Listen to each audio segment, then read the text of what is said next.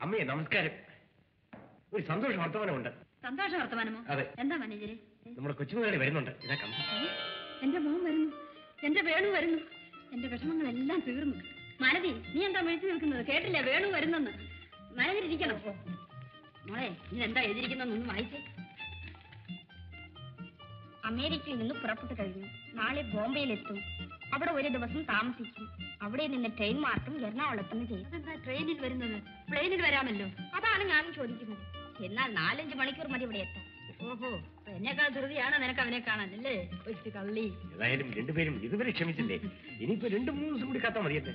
അമ്മേ എനിക്ക് ഒരു എളിയ ആഗ്രഹമുണ്ട്. എന്താ അത് കൊച്ചുമുതലാളി വരുമ്പോൾ ഒരു വമ്പിച്ച സ്വീകരണം കൊടുക്കണം. അയ്യോ അതിനൊന്നും സമയമില്ലല്ലോ. രണ്ടു മൂന്ന് ദിവസം കൊണ്ടാണുള്ള ഏർപ്പാട് ചെയ്യാൻ നോക്കുമോ അയ്യോ ദിവസങ്ങൾ എന്തിന് ഒറ്റ ദിവസം മതിയല്ലോ. ഗംഭീരമായി കളയാം. പക്ഷേ ഒരു അയ്യായിരം ഉറുപ്പിക ചെലവായിരിക്കും. അയ്യായിരം അല്ല പതിനായിരം ചിലവാക്കണം മാനേജരെ ആകെ കൂടി ഒരു മകനേ ഉള്ളൂ എനിക്ക്. അവന് വേണ്ടി എന്ത് ചിലവാക്കിയാലും സന്തോഷമേ ഉള്ളൂ. ഞാൻ മറ്റൊന്നും ഉദ്ദേശിച്ച് പറഞ്ഞതല്ല. ഒരു അയ്യായിരം ഉറുപ്പിക ചിലവാക്കേണ്ടി വരുമല്ലോ എന്ന്. രൂപയാണോ പ്രധാനം മാനേജരെ അഞ്ചു വർഷം അമേരിക്കയിൽ താമസിച്ച് പഠിച്ച് വലിയ പരീക്ഷയൊക്കെ ജയിച്ചു വരുന്ന അവനെ ഈ നാട്ടുകാരറിയ നാം ഒന്ന് സ്വീകരിക്കണ്ടേ? വേണം തീർച്ചയായും വേണം. അല്ലെങ്കിൽ നമ്മുടെ കൊച്ചുമുതലാളിക്ക് എന്നെ എന്ത് തോന്നും? അതെ അതെ. ചേട്ടനും വിഷമം തന്നെ തോന്നും. അല്ലേ. ഏതായാലും പതിനായിരം ഉറുപ്പ് ചെലവാക്കാൻ അമ്മ ഉത്തരവിട്ട് കഴിഞ്ഞു. ഇനി എന്നോട് ആരും പറയണ്ട. ഞാൻ നോക്കണം. കൂടി പിടിക്കുമേ അമ്മായി ഞാൻ അച്ഛനെ വിവരം അറിയിക്കട്ടെ ശരി മോളെ. ആ പിന്നെ വേണു വരാൻ പോകുന്നെന്ന് മാത്രമല്ല ചുമ്മാ ഇരിക്കും അമ്മായി. പരമു എടാ പരമു. അവൻ ഒരുത്തിന് ഒരിക്കലും വിളിച്ചാൽ കാണുകയില്ല. എടി മീനാക്ഷി അവൾക്കോ ഒരു സിനിമാ ഭ്രാന്ത് എപ്പോഴും പാട്ട് പാടിക്കൊണ്ട് നടക്കും. എടി മീനാക്ഷി. വിളിച്ചായിരുന്നോ? വിളിച്ചു. എന്താ പിന്നെ നീ ഒരു വിശേഷം അറിഞ്ഞു? എന്റെ കൊച്ചുമുതലാളി വരുന്നെന്ന്? എന്റെ കൊച്ചുമുതലാളി വരുന്നു. പഠിത്തം തീർന്നു വരുന്നു. എന്തൊരു കൺട്രി? നീ എന്താടി എന്റെ തുള്ളുന്നത്? അമ്മച്ചി ഇതാണ് അങ്ങനെ പിന്നെ വിളിച്ചോണ്ട് വരാം. നീ വിളിച്ചോണ്ടൊന്നും വരണ്ട. അവൻ താനെ ഇനി വന്നോളൂ. എന്തോന്നാ അമ്മച്ചി ഇത്? നീ പോയി ഈ മാനേജർക്ക് ഒരു കാപ്പി കൊണ്ടുവാ. വേണ്ടായിരുന്നു.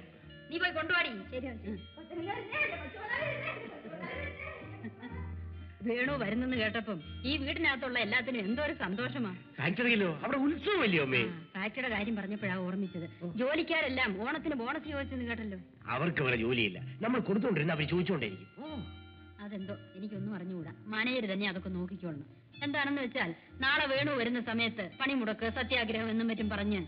അതെല്ലാം ഞാൻ ശരിപ്പെടുത്തിയിട്ടുണ്ട്. ജോലിക്കാരുടെ നേതാവിനെ പിടിച്ച് അവന്റെ കയ്യിൽ അഞ്ഞൂറ് റുപ്യ വെച്ച് കൊടുത്തു. അവന് നമ്മുടെ കൈവശത്താക്കി.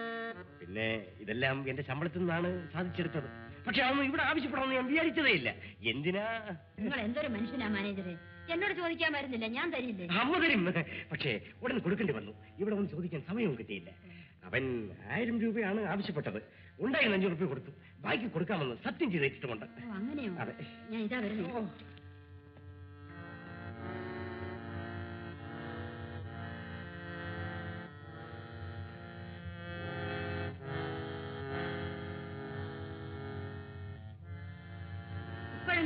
പറഞ്ഞല്ലോ അത് തന്നെ വലിയ കാര്യം. ഇതാ ആയിരം രൂപയുണ്ട്.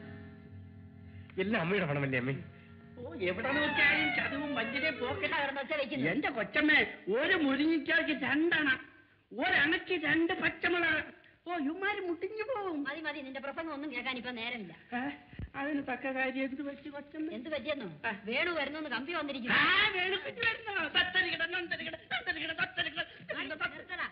ജോലി നോക്ക്. വേണു വരാൻ ഇനി രണ്ട് ദിവസമേ ഉണ്ട് ഒരു വലിയ ശില്പി. ആ. കൊട്ടാരം എടീ, എടീ, നീ എന്നെ പറ്റി എന്തറിഞ്ഞടി? എടി ഞാൻ തറവാട്ടി പിറന്നവനാ ഇവളെന്നെ കൊഞ്ഞനെ കുത്തി മീനാക്ഷി നീ അടുക്കളയിലോട്ട് എടീ, നീ എങ്ങനെ ചുമ്മാ കൂടി അമ്മേ ഞാൻ ഇറങ്ങട്ടെ സ്വീകരണത്തിന് വേണ്ട എല്ലാ ഏർപ്പാടുകളും ചെയ്യാനുണ്ട്.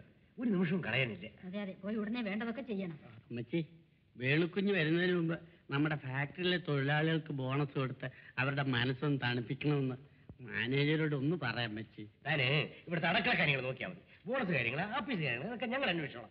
അമ്മ ഇറങ്ങിട്ടോ അമ്മ. ശരി. ഓ എല്ലാം നോക്കിക്കോളും. വേണുക്കുഞ്ഞ് നിങ്ങോട്ട് വന്നോട്ടെ. ഓ അയാളുടെ പാന്റും കോട്ടും ഷർട്ടും ആയിട്ടും മിണ്ടാതറ വരം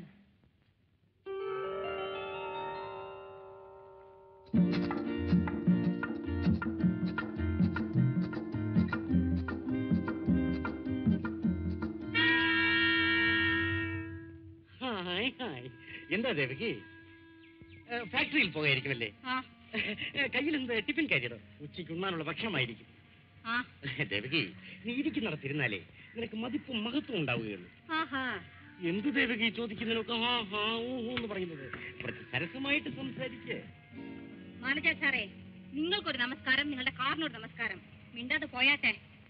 ആ എന്റെ വിലയും നിലയും മറന്നതിനോട് ഞാൻ സംസാരിക്കാൻ വന്നു. നീ അത് സാരമില്ലാതാക്കി കളഞ്ഞു. ആട്ടെ ദേവകി ഞാനൊന്ന് ചോദിക്കട്ടെ? എന്നെ കണ്ടിട്ട് തീരെ പിടിക്കുന്നില്ലേ? എന്ത് തോന്നുന്നു? എനിക്ക് തോന്നുന്നത് വെറും സ്വപ്നം. എത്താത്ത തുമ്പഴും അമ്പഴം എത്ര എറിഞ്ഞിട്ടും വീഴുന്നില്ല. ആ വീഴും.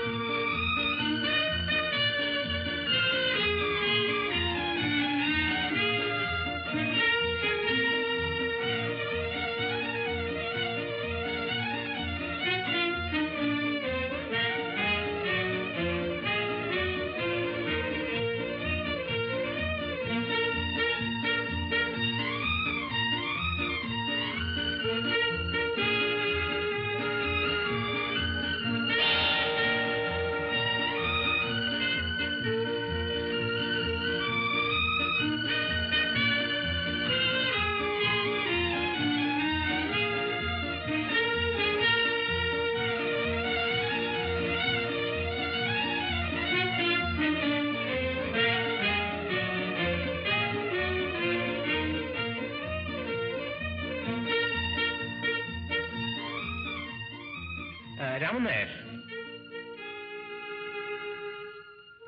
ഉടനെ ഓഫീസിലോട്ടൊന്ന് വരണം. എനിക്ക് നിങ്ങളെ കാണണം.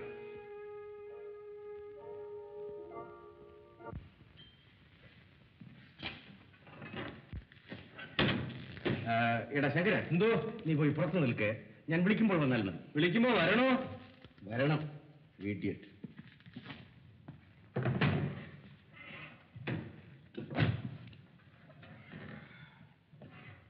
ആ രാമൻ നായർ വരൂ നമ്മുടെ കൊച്ചു മുതലാളി വരുന്ന വിവരമെല്ലാം അറിഞ്ഞു കാണുമല്ലേ? ആ വരുന്നെന്ന് കേട്ടു. ഒരു വമ്പിച്ച സ്വീകരണം കൊടുക്കാനുള്ള ഏർപ്പാടുകളെല്ലാം നടന്നുകൊണ്ടിരിക്കുകയാണ്. അത് അത്യാവശ്യം. ആ ആഘോഷത്തിൽ നിങ്ങളെല്ലാവരും സന്തോഷമായി പങ്കുകൊള്ളണം. അതിനിപ്പോ എന്ത് സാർ? അങ്ങനെ ആട്ടെ. എന്താ രാമൻ നായരെ ഒരു ചൊടിയില്ലാത്ത പോലെ നല്ല ഉത്സാഹമായി നിൽക്കണം? എങ്ങനെ ചൊടിയും ഉത്സാഹവും വരും സാർ? ബോണസ് കിട്ടുമെന്ന് എല്ലാവരും പ്രതീക്ഷിച്ചു. അതിന് നിങ്ങളെങ്ങനെ വിഷമിക്കുന്നു രാമൻ നായർ? ഞാനില്ലേ നിങ്ങൾക്ക്? രാമൻ നായർ. നിങ്ങളോട് എനിക്ക് അതിലേറ്റ സ്നേഹമാണ്. വളരെ കഷ്ടത അനുഭവിച്ചാണ് നിങ്ങളുടെ എത്തിച്ചേർന്നത്. എന്തെന്നറിഞ്ഞുകൂടാ? നിങ്ങളെ കണ്ടത് മുതൽ എനിക്ക് വലിയ അനുകമ്പ തോന്നി. നിങ്ങൾക്കും മകൾക്കും ഞാനിവിടെ ജോലി തന്നു. എന്താ ശരിയല്ലേ രാമൻ നായർ? അതൊന്നും ഞാൻ മറക്കുന്നവനല്ല സാർ. അപ്പോൾ നിങ്ങളോട് വളരെ പ്രത്യേകത കാണിച്ചവനാണ് ഞാൻ. പറഞ്ഞാൽ തെറ്റിദ്ധരിക്കരുത്. നിങ്ങൾക്ക് അശേഷം നന്ദിയില്ല. അയ്യോ സാർ അത് മാത്രം പറയരുത്. ആട്ടെ മകൾക്ക് എങ്ങനെ സുഖം തന്നെയല്ലേ? ആ സുഖക്കേടൊന്നുമില്ല. ഞാനത് ചോദിച്ചോട്ടെ രാമൻ നായർ. അവളെ എന്തിനിങ്ങനെ വെച്ച് മുരടിക്കുന്നു. എന്തെങ്കിലും കല്യാണം ചെയ്ത് അയച്ചുകൂടെ? അതിന്റെ കാലം വരുമ്പോഴേ അതൊക്കെ നടക്കുകയുള്ളൂ സാർ. അതെന്താ അങ്ങനെ പറയുന്നത്? അവളൊരു നല്ല പെണ്ണല്ലേ? വാസ്തവം പറഞ്ഞാൽ ഒരു ലക്ഷപ്രഭുവിന്റെ വീട്ടിൽ വാഴേണ്ടവളാണ് അവൾ അത് നിങ്ങൾ ആദ്യം മനസ്സിലാക്കണം. അവളുടെ തലയിലെഴുത്തേക്കിനെന്ന് ആർക്കറിയാം സാർ. രാമൻ നായരെ നിങ്ങളോടുള്ള സ്നേഹം കൊണ്ട് ഞാൻ പറയുകയാണ്. വേറൊന്നും തെറ്റിദ്ധരിക്കരുത്. നിങ്ങൾക്ക് പണം വല്ലതും വേണമെങ്കിൽ എന്നോട് ചോദിക്കൂ. ഞാൻ തരാം. എന്നെ നിങ്ങളുടെ സ്വന്തം ഒരാളായിട്ട് കരുതിയാൽ മതി. എന്ത് വന്നാലും നിങ്ങളും മകളും കഷ്ടപ്പെടരുതെന്ന് എനിക്ക് വലിയ നിർബന്ധമുണ്ട്. ഞാൻ പോട്ടെ സാർ. പോകുന്നു? നിൽക്കണം ഞാൻ പറഞ്ഞില്ലല്ലോ. പിന്നെ നമ്മുടെ ഫാക്ടറിയിലുള്ള എല്ലാ ഡിപ്പാർട്ട്മെന്റിലുള്ള അംഗങ്ങളും ഈ സ്വീകരണാഘോഷത്തിൽ ചേർന്നിരിക്കണം. എല്ലാവരെയും വിവരമായി അറിയിക്കണം. അത് നിങ്ങളുടെ ചുമതല. പിന്നെ രാമൻ നായർ നിങ്ങൾ നമ്മുടെ ആളാണ്. ഞാൻ പോട്ടെ sir.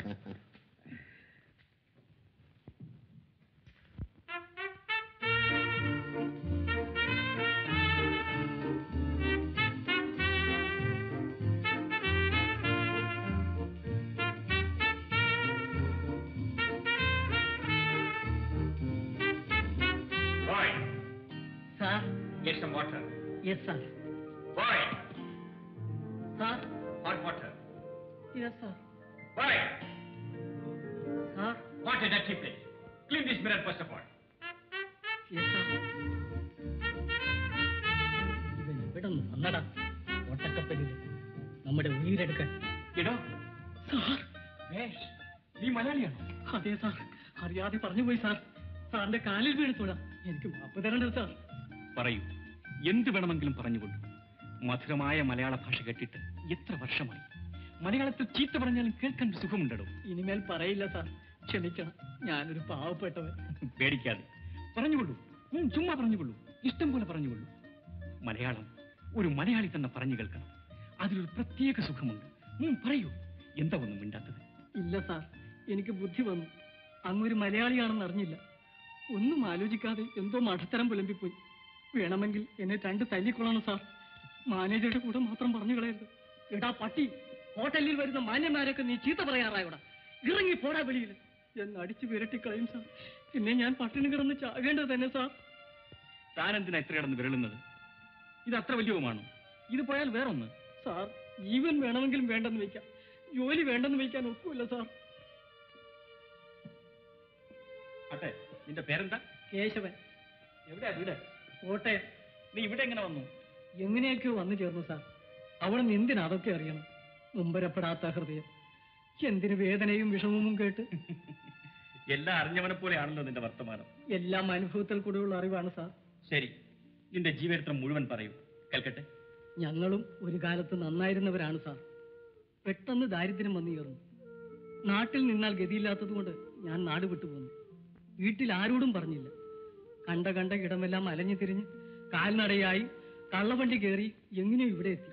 അവസാനം ഈ ജോലിയാണ് കിട്ടിയത്. ഇത്രയും കാലമായിട്ട് കഴിഞ്ഞ മാസമാണ് സാർ വല്ല വിധവും പത്ത് രൂപ വീട്ടിലേക്ക് മണി ഓർഡർ അയക്കാൻ സാധിച്ചത്. ആ രൂപ അവിടെ ആരുമില്ലെന്ന് പറഞ്ഞ് മടങ്ങി വരികയും ചെയ്തു. അവരെല്ലാം എവിടെ പോയോ എന്തു ചെയ്യുന്നു ദൈവത്തിനറിയാം. ഇതെല്ലാം ഓർത്താണോ നിനക്ക് ഇത്ര ഭയം? അതെ സാർ. എന്നെ പോലെയുള്ളതിന് ജീവന് അപകടം കൂടാതെ സൂക്ഷിക്കാം. പക്ഷെ ജോലി സൂക്ഷിക്കാനാണ് സാർ വിഷമം. എന്റെ കഷ്ടപ്പാടെല്ലാം അവിടത്തോട് എന്തിനു പറയണം അനിയ നിന്നെപ്പോലുള്ള തൊഴിലാളികളുടെ വിഷമവും ദാരിദ്ര്യവും കേട്ടറിഞ്ഞാലേ എന്നെപ്പോലുള്ളവർക്ക് എന്തെങ്കിലും പരിഹാരം ചെയ്യാനോ കേട്ടറിഞ്ഞാലൊന്നും മനസ്സിലാവില്ല സാർ. ഒരു തൊഴിലാളിയുടെ കഷ്ടപ്പാട് മറ്റൊരു തൊഴിലാളിക്ക് അറിയാവൂ. ഓഹോ. അപ്പോൾ തൊഴിലാളിയായിരുന്നാലേ തൊഴിലാളിയെ പറ്റി അറിയാനോ അല്ലേ? അതെ സാർ. തൊഴിലാളിയായിരുന്നാലേ അവരുടെ സുഖം ദുഃഖം അവർ ചെയ്യുന്ന ജോലി അതിന് കിട്ടുന്ന കൂലി കൂലിയുടെ കൂടെ കിട്ടുന്ന ശകാരം കുടിയിരിക്കുന്ന കുടിൽ അതിനുള്ളിലുള്ള കുടുംബം ആ കുടുംബം പെടുന്ന പാട് ഈ വിവരങ്ങളെല്ലാം അനുഭവിച്ചറിയൂ. സാർ ചോദിക്കുന്നു എന്ന് വിചാരിക്കരുത്. സാറിന്റെ വീട് എവിടെയാ സാർ? എറണാകുളം. അപ്പോൾ സാർ എറണാകുളത്ത് നിന്ന് വരികയാണ്? അല്ല അമേരിക്കയിൽ നിന്ന്. അമേരിക്കയിൽ നിന്ന്? അതെ അഞ്ചു വർഷമായി പഠിക്കാൻ പോയിട്ട്. അപ്പോ ഇനി ഇവിടെ വലിയ ഉദ്യോഗം കിട്ടുമല്ലേ സാർ? ഞാൻ ഉദ്യോഗത്തിനൊന്നും പോകുന്നില്ല. പിന്നെ? എനിക്കൊരു ഗ്ലാസ് ഫാക്ടറി ഉണ്ട്. അതിന്റെ മുതലാളിയാണ് ഞാൻ. എന്റെ ഫാക്ടറിയിൽ ആയിരം തൊഴിലാളികൾ ജോലി ചെയ്യുന്നു. ക്ഷമിക്കണം. ഞാനൊന്ന് ചോദിച്ചോട്ടെ. ഇന്ന് ഇതുവരെ ഒരു തൊഴിലാളി എങ്ങനെയാണ് കഴിയുന്നതെന്ന് മുതലാളി തിരക്കിയിട്ടുണ്ട് ഏതെങ്കിലും ഒരു തൊഴിലാളിയുടെ കുടിയിൽ കാലെടുത്ത് വെച്ചിട്ടുണ്ടോ. പിന്നെ എങ്ങനെയാണ് മുതലാളി അവർക്ക് ഗുണം ചെയ്യാൻ സാധിക്കുന്നത്? മുതലാളി തൊഴിലാളിയായി മാറിയ അതൊക്കെ പണ്ടത്തെ കാലം മുതലാളി. മഹാരാജാക്കന്മാർ വേഷം മാറിപ്പോയി. നാടൊക്കെ ചുറ്റിത്തിരിഞ്ഞ് ജനങ്ങളുടെ കഷ്ടനഷ്ടങ്ങൾ കണ്ടറിഞ്ഞ് ഭരണം നടത്തിയിട്ടുള്ളത്. ഇക്കാലത്ത് മുതലാളി തൊഴിലാളിയാകുന്ന ഇവിടെ കഷ്ടങ്ങൾ അറിയുന്നത് എങ്ങനെ? പരിഹാരം ഉണ്ടാക്കുന്നത് എപ്പോ? അതൊക്കെ നടക്കാത്ത കാര്യം. എന്തുകൊണ്ട് നടക്കില്ല? ലോകത്തിൽ എത്രയോ അത്ഭുതങ്ങൾ നടക്കുന്നു. ശരി ഈ ഞാൻ തന്നെ കാണിച്ചു തരാം. കാണണം. മുതലാളി നാടകമോ സിനിമയോ എല്ലാം വായ കൊണ്ട് പറയാം. ചെയ്തു കാണിക്കാനാ വിഷമം. അയ്യോ മറന്നേ പോയി. ചൂടുപടം ചോദിച്ചല്ലോ. ഇതാ കൊണ്ടുവന്നേക്കാം.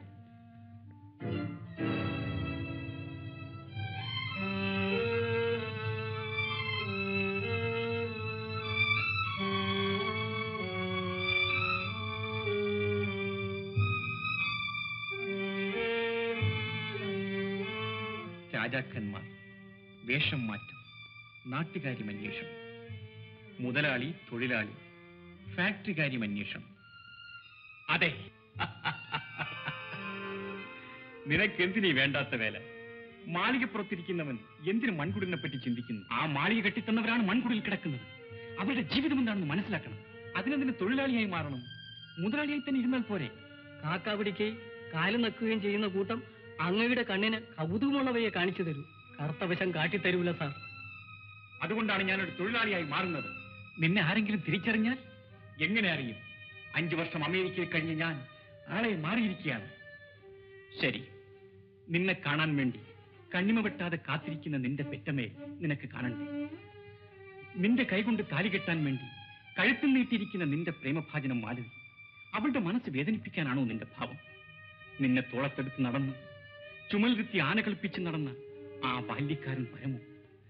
വേണുക്കുഞ്ഞ് ഇന്ന് വരും ഇന്ന് വരുമെന്ന് മന്ത്രം വിരുവിടുന്നതിന് നീ എന്തുത്തരം പറയും? അത് ഞാനൊന്നും തൊഴിലാളിയെ തന്നെ കഴിയാൻ പോവുകയാണ്?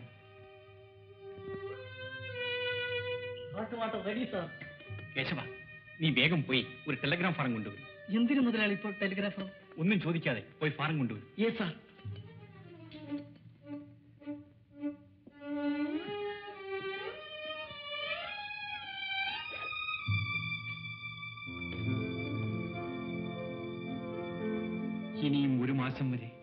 നിന്നെ എനിക്ക് പിരിഞ്ഞിരിക്കേണ്ടി വരും ഓമനെ ഇന്ന് എന്നെ കണ്ടാൽ എങ്ങനെ? ആയ്, ആയ്. ഇന്നലെ വരെ ഇല്ലാത്ത ഒരു പുതിയ സൗന്ദര്യം. വെറുതെ കളിയാക്കാതെ. സത്യം പറയാമല്ലോ ദേവലോകത്തിലെ ആ ഊർവശി. ഇപ്പോൾ എന്റെ മാനവിയെ കണ്ടാൽ കൂടി ഒന്ന് കാലി തരും മേനകയും രംഭയും ഇരുവശത്തു നിന്ന് അങ്ങനെ വെഞ്ചാമരം വീശി. തിലോത്തമ മുത്തുക്കുടയും പിടിച്ച് അങ്ങനെ പുറകെ നിൽക്കും. ബേഷ് ബേഷ് തനിക്ക് അവരെയാണല്ലോ തട്ടി വിടുന്നത്. കലാദേവതയും കാവ്യ നർത്തകയും ഒന്നു ചേർന്ന ഒരു രൂപമല്ലേ എന്റെ മുമ്പിൽ നിൽക്കുന്നത്? എങ്ങനെ കവിത വരാതിരിക്കും മലതി. ആട്ടെ ഞാൻ ഇങ്ങനെ അണിഞ്ഞു ഒരുങ്ങുന്നത്. ആർക്ക് കാണാമെന്നറിയാമോ ഇതുവരെ ഞാൻ കാണാൻ. ഇനിമേൽ ഇനിമേൽ? വരുന്നുണ്ടല്ലോ മണവാളൻ. മഹാമഹിമശ്രീ വേണു വേണുഗോപർകൾ ആ ഭാഗ്യം എന്നെ കാണാൻ. നിങ്ങൾ വെറും ഒരു പാവമാണ്.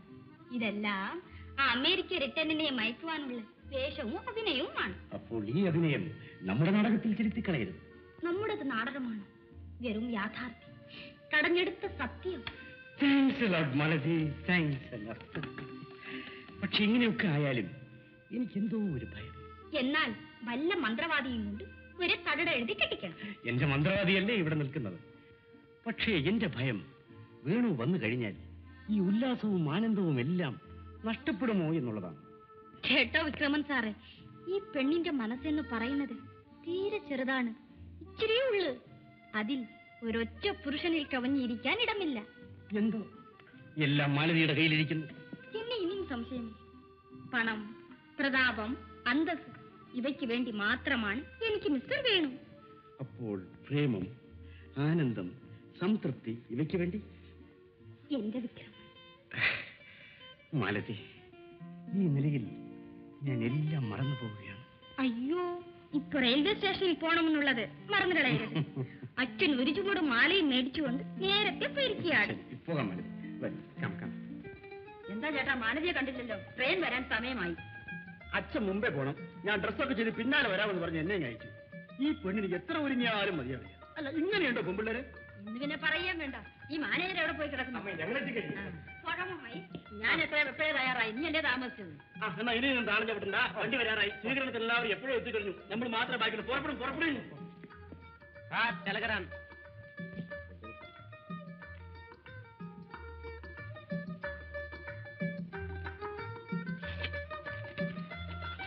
അതൊക്കെ പിന്നെ നമുക്ക് പോയിട്ട് വരാം. നോക്കിയിട്ട് ഞാൻ നോക്കാം. ഏ? വേണിച്ചത്തിന് വരുന്നില്ല അമ്മായി? വരുന്നില്ലേ എന്തുകൊണ്ട്? എവിടെയൊക്കെ യാത്ര പോണ പോലും. വരാൻ ഒരു മാസമാകുമെന്ന് യാത്ര പോണെന്നോ എന്തെങ്ങനെ പെട്ടെന്ന്? അപ്പം കുഞ്ഞു വരുന്നില്ലേ അപ്പൊ ഇതുവരെ പറഞ്ഞൊന്നും താൻ കേട്ടില്ല അല്ലയോ? എന്ത് ചേട്ടാ എവിടെ പോയിരിക്കും? അതാണ് എനിക്ക് മനസ്സിലാകുന്നത് നമ്മ വിഷമിക്കാതിരിക്കണം. നാളെ മറ്റന്നാളെ വിവരങ്ങൾക്കെല്ലാം കത്തുവരും അതെ അതേ അമ്മായി സമാധാനപ്പെടാം. അഞ്ചു വർഷം പോയത് അത്ര വലുതായി തോന്നിയില്ല. ഈ ഒരു മാസം ഞാൻ എങ്ങനെ കഴിച്ചു കൂട്ടുമോ എന്തോ.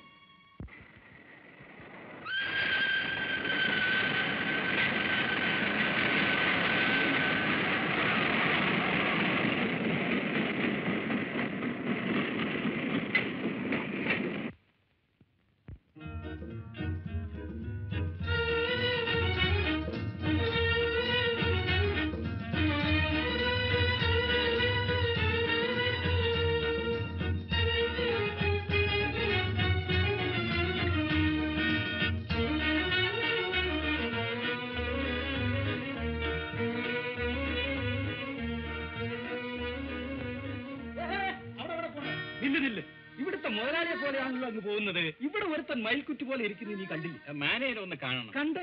എന്തെങ്കിലും ഒരു ജോലി. ജോലിയോ? കിട്ടും കിട്ടും. കിട്ടുമോ? കിട്ടും. ജോലിയല്ല ആടിയും ചവിട്ടും. എന്റെ അനിയ ഇരുന്ന് ഇരുന്ന് ഇവിടെ ജോലിക്ക് വന്നല്ലോ. ആ മാനേജറുടെ മൂക്കിന്റെ അറ്റത്താ ഇഞ്ചി. അവൻ ഒന്ന് കണ്ണുരുട്ടിയ ആരുടെ തലയിൽ തീ പിടിക്കുന്നു? ആരുടെ വായിൽ മണ്ണ് വീഴുന്നു അത്ര ദുഷ്ടനാണ് അനിയ. എന്താ നീ മിണ്ടാത്ത? ഇതൊന്നും ആ യജമാനിയമ്മയ്ക്ക് അറിഞ്ഞൂടെ? അവരെ അയാൾ കൈമണി അടിച്ച് പാട്ടിലാക്കിയിരിക്കല്ലേ അനിയ ഒരു വീടിയുണ്ടോ ഉണ്ടോ തറാൻ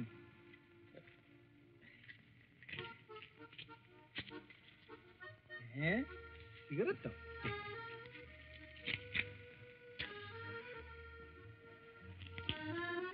ഇത് വലിച്ചാൽ തീരുകയില്ലല്ലോ. എന്ത് പറയാനാനിയ ഈ മാനേജർ ഈ ഫാക്ടറിക്കകത്ത് കയറി വർഷം മൂന്നായി. അന്ന് മുതൽ ഈ ഫാക്ടറി രഹപ്പഴ പിടിച്ചു എന്ത് ചെയ്യാനാ? അങ്ങെങ്ങാണ്ടോ പോയിരിക്കുന്ന കൊച്ചു മുതലാളി വന്നാലെങ്കിലും ഇതിനൊരു മോക്ഷം കിട്ടുമെന്ന് വിചാരിച്ചു. അദ്ദേഹം വന്ന് അനി, അനി, മാറിയില്ല. കഴുകൻ വരും.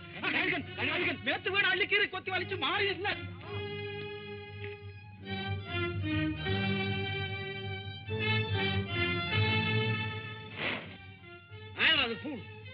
ജോലിക്ക് വേണ്ടി നിനക്കെന്താ അവന്റെ കൂടെ ചങ്ങാത്തം? ഇല്ല നമ്മൾ തള്ളണ പുറത്ത്? എടോ ഇവിടെ ജോലിയില്ല. ഓടോ. കണ്ടോ അനിയാ കണ്ടോ? ഞാൻ പറഞ്ഞതിൽ വല്ല കുറ്റമുണ്ടോ? ഓഹോ.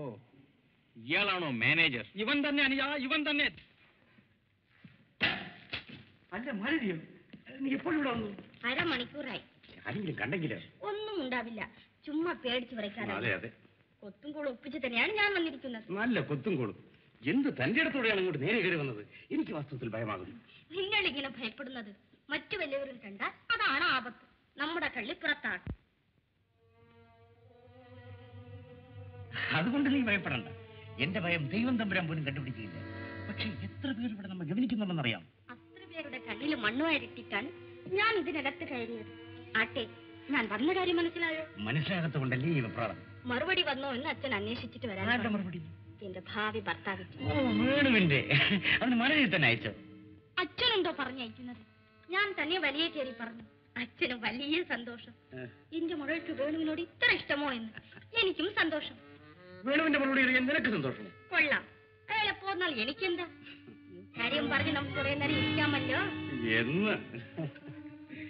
നീ ആളൊരു പുള്ളിയാണ് കേട്ടോ. ആരാടാ അത് കിട്ടിയത് ഞാൻ തന്നെ. ഹായ്, ഇവിടുത്തെ മുതലാളിയുടെ മകനല്ലേ? ഞാൻ തന്നെ എന്ന് പറഞ്ഞാൽ ഉടനെ മനസ്സിലാക്കാൻ. ആരാടാ നീ? എന്തിവിടെ വന്നു? ഞാനൊരു കൂലിക്കാരനാണ് സാർ. ബസ് സ്റ്റാൻഡിൽ ചെല്ലേ ചുമട് ചുമക്ക് അതിവിടെ തന്നെ ചെയ്യാമെന്ന് വിചാരിച്ചു വന്നതാണ്. പിന്നെ പിന്നെ നിന്റെ തന്തയുടെ വകയില്ലേ ഫാക്ടറി ജോലി ചെയ്യണമെന്ന് വിചാരിച്ച ഉടനെ അങ്ങ് കയറി ചെയ്യാൻ. എടാ ശങ്കര നീല എവിടെ അതോ ചത്തു തൊലഞ്ഞോ അമ്മ കാപ്പി ഒഴിച്ചു. നിന്റെ കാപ്പി. ആരാടാ ഇവനകത്ത് വിട്ടത്? ആരാ ഇതിനകത്തോട്ട് ആരും വിട്ടതല്ല. ഞാൻ താനേ വന്നതാ. കഴുത്ത് പിടിച്ച് തള്ളടാ പുറത്ത് വരാം ദേവിയെ ഒന്ന് പുറത്തു പോ ചേട്ടാ. എന്റെ കഞ്ഞിൽ പാട്ടിടാതെ ഒന്ന് പുറത്തു പോ ചേട്ടാ. എന്താ മാലതി? ഇങ്ങനെ ഒന്നും മിണ്ടാതിരിക്കുന്നത്? ഈ വന്ന മനുഷ്യൻ നമ്മുടെ വേണുവിന്റെ ഒരു മുടച്ചായല്ലേ? അത് കൊള്ളാം. ഏതോ ഒരു തെണ്ടി കയറി വരുന്നത് കണ്ടിട്ട് ഇങ്ങനെ മൂക്കും നാക്കും ഇല്ലാതിരുന്നാൽ സാക്ഷാൽ വേണുവാണ് വന്നിരുന്നതെങ്കിൽ എന്ന് അറിയുന്ന ഭാവമേ കാണിച്ചില്ലല്ലോ ഹേ അത് മാലതി മനസ്സിലാക്കാതെ പറയുകയാണ്. തക്കവും തരവും നോക്കി ഞാനിവിടെ പറന്ന് താങ്ക് യു മാലതി. താങ്ക്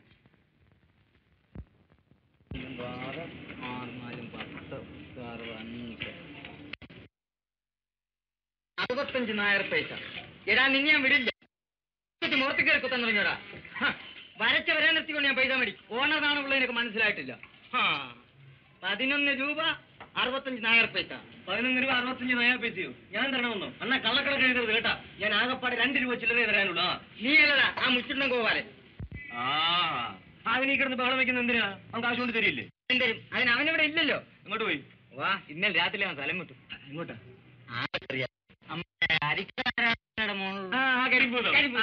നൂറ് രൂപ ചെലവായാലും നിന്നെ കണ്ടുപിടിച്ചാന്റെ പൈസ മേടിക്കും. ഒന്ന് നിർക്കൊല്ലി പരദൂഷണം ഇത്രയുള്ള ബാക്കിയുണ്ടോ? നീ അറിഞ്ഞില്ലല്ലോ. നമ്മുടെ കല്യാണിയുടെ കാമുകനുണ്ടല്ലോ പോയത്. അവന്റെ പുറത്ത് പാമ്പ് വീണു. അയ്യോ എന്നിട്ട് പാമ്പ് അതിനെ കടിച്ചു പാമ്പല്ലടാ. ബോംബ് യുദ്ധത്തിനിടുന്നത് ഞാൻ വിചാരിച്ചു പാമ്പാണ്. ബോംബായിരുന്നു അല്ലേ അണ്ണു കടുപ്പത്തിൽ ഒരു ചായ തരാൻ പറയാം കുട്ടാ ഒരു ചായ ഇടാ കടുപ്പത്തിൽ. അണ്ണു ഈ പരിപ്പയുടെ മഹത്തായ എത്രാം വാരം? മൂന്നാം വാരമോ നാലാം വാരമോ അഥവാ സിൽവർ ജൂബിലി വരെ വന്നു? അത് നിങ്ങൾക്ക് അറിഞ്ഞൂടെ? ഈ പരിപ്പൂട എന്ന് പറയുന്ന സാധനം പഴം തോറും രുചി കൂടുതല. അണ്ണോ ഇതിനകത്തിരിക്കുന്ന നൂലെല്ലാം കൂടി പെരുക്കിയെടുത്താൽ ഒരു തോർത്ത് നെയ്യാമല്ലോ? അണ്ണാ അണ്ണാ ഇത് കണ്ടോ? ഇതിനകത്തൊരു ഈച്ച കിടന്ന് ഡാൻസ് ചെയ്യുന്നത്. പിന്നെ ഒന്നര നാട് രാജിക്കകത്ത് വൈകേന്ദ്രമാരെ വന്ന് ഡാൻസ് ചെയ്യണോടാ എന്തടേ പരദോഷ നാട്ടുവിശേഷങ്ങൾ?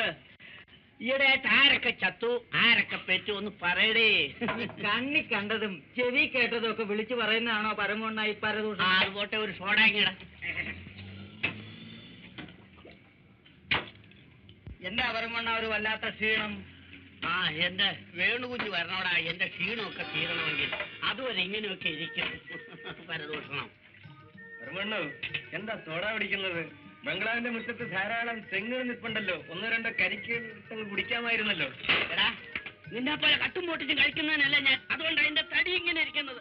അങ്ങനെ വല്ലതും ചെയ്തിരുന്നെങ്കിൽ നിന്നെ പോലെ ഈർക്കോട് പോലെ ഇരുന്നേ താനെത്തിനാടോ അയാളോട് ഇത് കൊടുക്കുന്നത് മുതലാളിയെ കണ്ടില്ലെന്ന് പറഞ്ഞ് മൂക്കിനകത്ത് ഇഞ്ചിയും വെച്ച് കിടക്കും. അല്ലെങ്കിൽ ഇതാര് താൻ ഇവിടെ കൊണ്ടോ?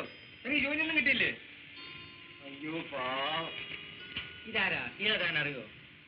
അറിയുമെന്നു. പാവ എന്നാൾ ഞങ്ങളുടെ മാനേജറുടെ പക്കൽ ഒന്ന് ജോലി വേണം എന്ന് ചോദിച്ചു. അയാൾ ഓടിച്ചു. കണ്ടോ സമയമായി ഞാൻ വരട്ടെ.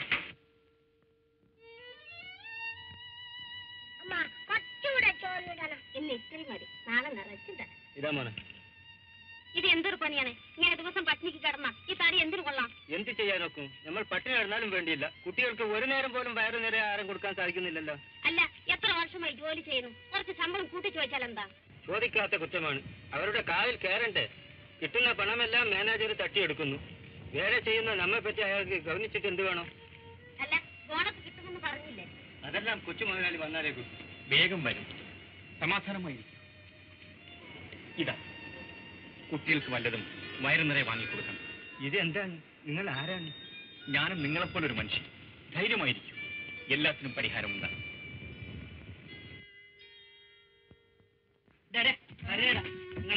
പഠിച്ചത് മതി. ഇനിമേ പള്ളിക്കൂടെ പോണ്ട ഇതെന്താ ഇനി കാണിക്കുന്നത്? വല്ല കിറുക്കുണ്ടോ? ആ ഇവരെ പഠിച്ചിട്ടല്ലേ ഇപ്പൊ മന്ത്രി മൈത്രിട്ടെല്ലാം ആകാൻ പോകുന്നത് നല്ല കാര്യം. വല്ലവരെടുത്തുള്ള തേജത്തിനെ ഈ കുട്ടികളെടുത്താ കാണിക്കുന്നത്? കുട്ടികൾ എല്ലാരും പെറ്റ കുട്ടികളെ. നമ്മളും പെറ്റ കുട്ടികളെ. ജീവിക്കാൻ മാർഗമില്ലാതെ അവൻ കല്യാണം തെറ്റ്. അതിനേക്കാൾ കുട്ടികളെ സൃഷ്ടിച്ച അതിനേക്കാൾ വലിയ തെറ്റ്. ഭാര്യയും മക്കളും ഉള്ളവരൊക്കെ കുറെ ശാന്തരായിരിക്കണം. ആ നീയാണോ ഉപദേശിക്കാൻ? നിനക്കെന്തറിയാം? പള്ളിക്കൂടം തുറന്നു പോലും കുട്ടികൾക്ക് പുതിയ പുസ്തകം വാങ്ങണം. എന്റെ കയ്യിൽ കാശില്ല. കിട്ടുന്ന ശമ്പളം ഞങ്ങൾക്ക് ചെലവിന് പോലും പറ്റുന്നില്ല. കൊച്ചു മുതലാളി വരുമെന്ന് വിചാരിച്ച് വന്നിരുന്നെങ്കിൽ വല്ല ഒരു ലക്ഷ്യം കിട്ടിപ്പോയി. സാറ് സാധാരണ മനുഷ്യനല്ല. ഇക്കാലത്ത് ഇങ്ങനെ ഒരു മനുഷ്യനെ കാണുക തന്നെയില്ല സാർ ആരാണ്? എവിടെ താമസിക്കുന്നു? ഇതെല്ലാം നിങ്ങൾ എന്തിനാ അന്വേഷിക്കുന്നു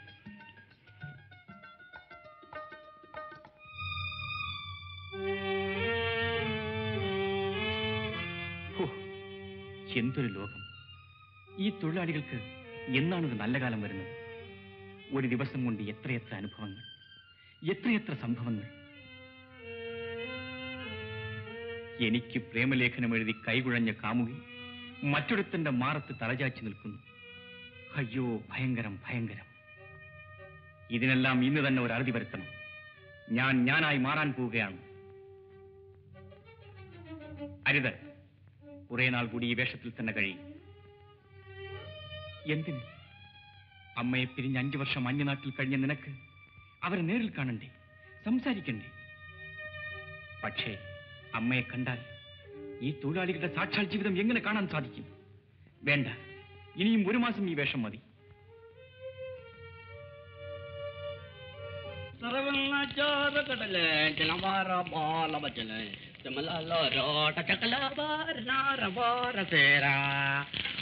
ഓ വേണുക്കുഞ്ഞ് വരുന്നതിന് മുമ്പ് ഇതൊരു നല്ല പൂങ്കാവനമാക്കണം. എത്ര നല്ല ചെടി കൊണ്ടുവച്ചിട്ടും ഒരു പ്രയോജനവും കാണുന്നില്ലല്ലോ. പ്രയോജനം വേണമെങ്കിലേ. നേരത്തെ കാലത്ത് വെള്ളം ഒഴിക്കണം. ഞാൻ എനിക്ക് ഒരു ചെറിയ സംശയം.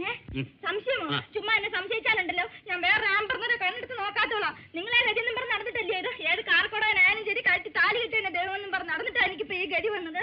എന്നെ ചുമ്മാ സംശയിച്ചാൽ കെട്ടി ചുമി ചത്തു കളയത് എടി നിന്നെ ഞാൻ സംശയിക്കോ നീ എന്റെ ഹൃദയമല്ലേ പൂങ്കാവനമല്ലേ നീ? എടി അതല്ല. ഞാൻ വെള്ളം ഒഴിക്കുന്ന ചെടികളെല്ലാം ഇങ്ങനെ ഞൊരണ്ട് മരണ്ട് കൊരണ്ടൊക്കെ പോകുന്നു. നീ ഒഴിക്കുന്ന ചെടികളെല്ലാം അങ്ങനെ തഴച്ച് പളച്ച് കഴച്ചിങ്ങനെ അതിന്റെ രഹസ്യം എന്താ? എന്തോ.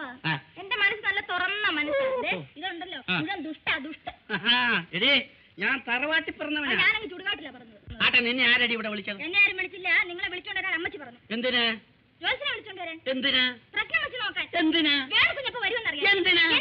അല്ല ഏത് ജ്യോതിഷനെന്ന് നമ്മുടെ കുഞ്ഞാണ്ടി ജ്യോതിഷന് കുഞ്ഞാണ്ടി ജ്യോതിഷൻ ഒരു ചുക്ക് അറിഞ്ഞുകൂടടി. കുഞ്ഞാണ്ടി ജ്യോതിഷനല്ലേ നിന്റെ ജാതകം എഴുതിയത്? നിനക്ക് ആറ് പെണ്ണും മൂന്നാണും ഉണ്ടാവണമെന്ന്. കല്യാണം കഴിഞ്ഞിട്ട് ഏഴ് വർഷമായില്ലേ? നിനക്ക് ഒരൊറ്റ എണ്ണെങ്കിലും ഉണ്ടായി ഓ ജോത്സ്യന്മാരൊന്നും പറഞ്ഞാൽ തെറ്റില്ല. അതിനൊക്കെ ഇനി സമയമുണ്ട്. ഓഹോ എന്നാ ഷഷ്ടിപൂർത്തി കൊണ്ട് കഴിഞ്ഞിട്ട് ഒന്നിച്ചങ്ങ് പറയാമെന്ന് വിചാരിച്ചിരിക്കായിരിക്കും. ഞാനും തറവാട്ടി പറഞ്ഞവനാ എന്റെ തനിക്കൊന്നും നിനക്ക് അറിഞ്ഞൂടാ ഇന്ന് പഞ്ചാബ് വിളിക്കുന്നുണ്ടോ? ആ ഉണ്ട് ഉണ്ട് ആ പക്ഷേ കുഞ്ഞാന്റെ അല്ല നമ്മുടെ രമേശൻ ജോസിനെ വിളിക്കാൻ കിട്ടില്ല. കെ കെ ശാസ്ത്രിയും കുട്ടിക്ക് വരാം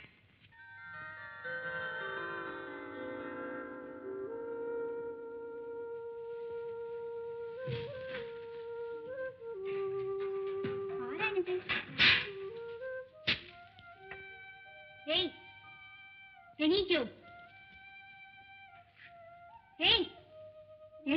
പറഞ്ഞത്.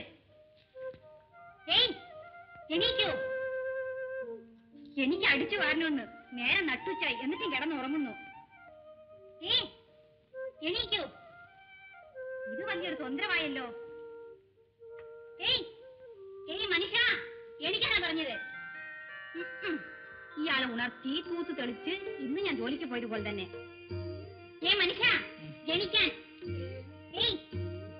ഒച്ചിട്ടിട്ടും ചെവി കേൾക്കുന്നില്ലേ? ഏയ് എണീക്കോ. ഇതേത് കുംഭകർണനോ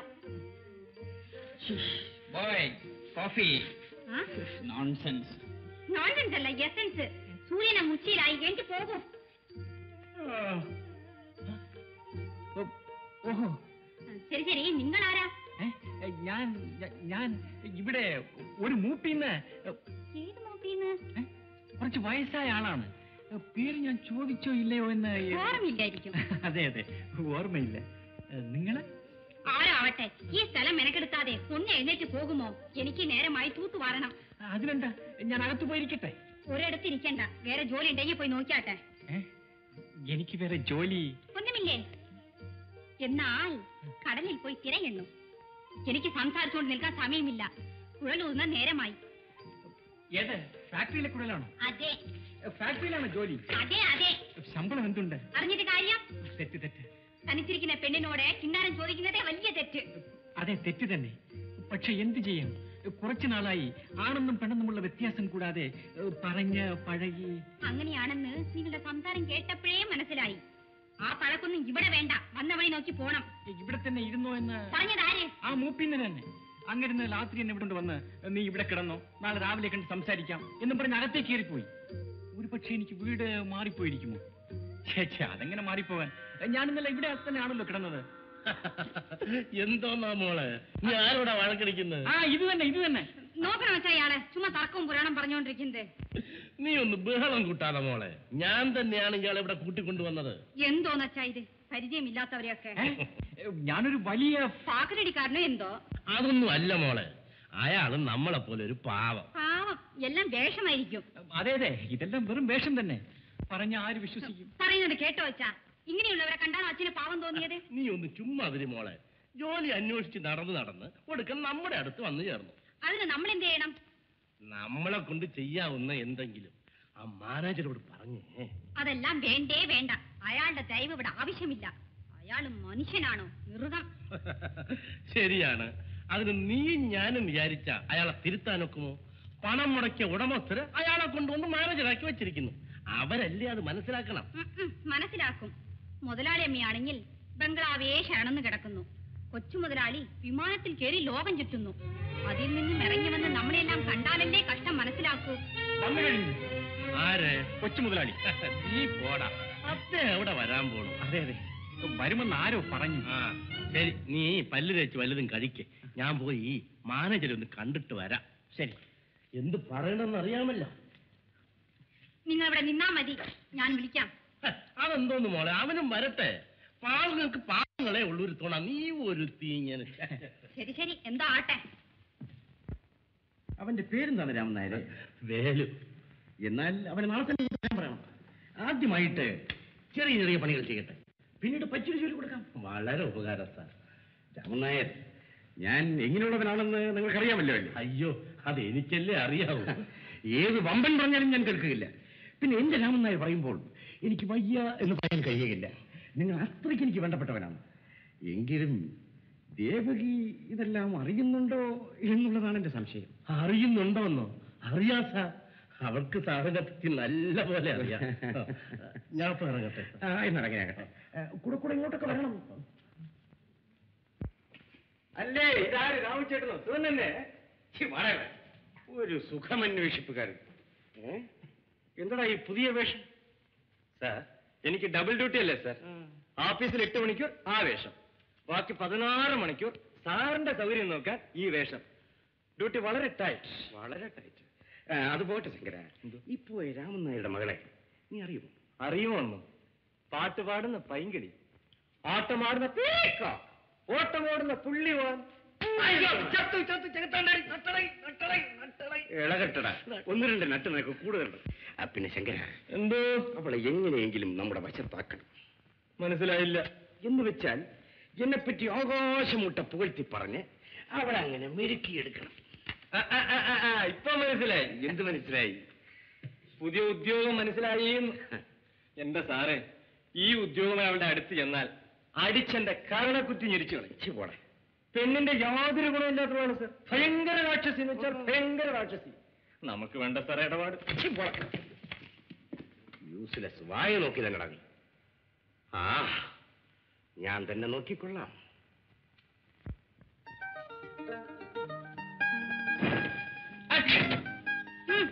എനിക്കോ ഇരിക്കൂ. എണിക്കാൻ പറഞ്ഞാൽ? അയ്യോ എന്നെ കൊണ്ട് വയ്യ.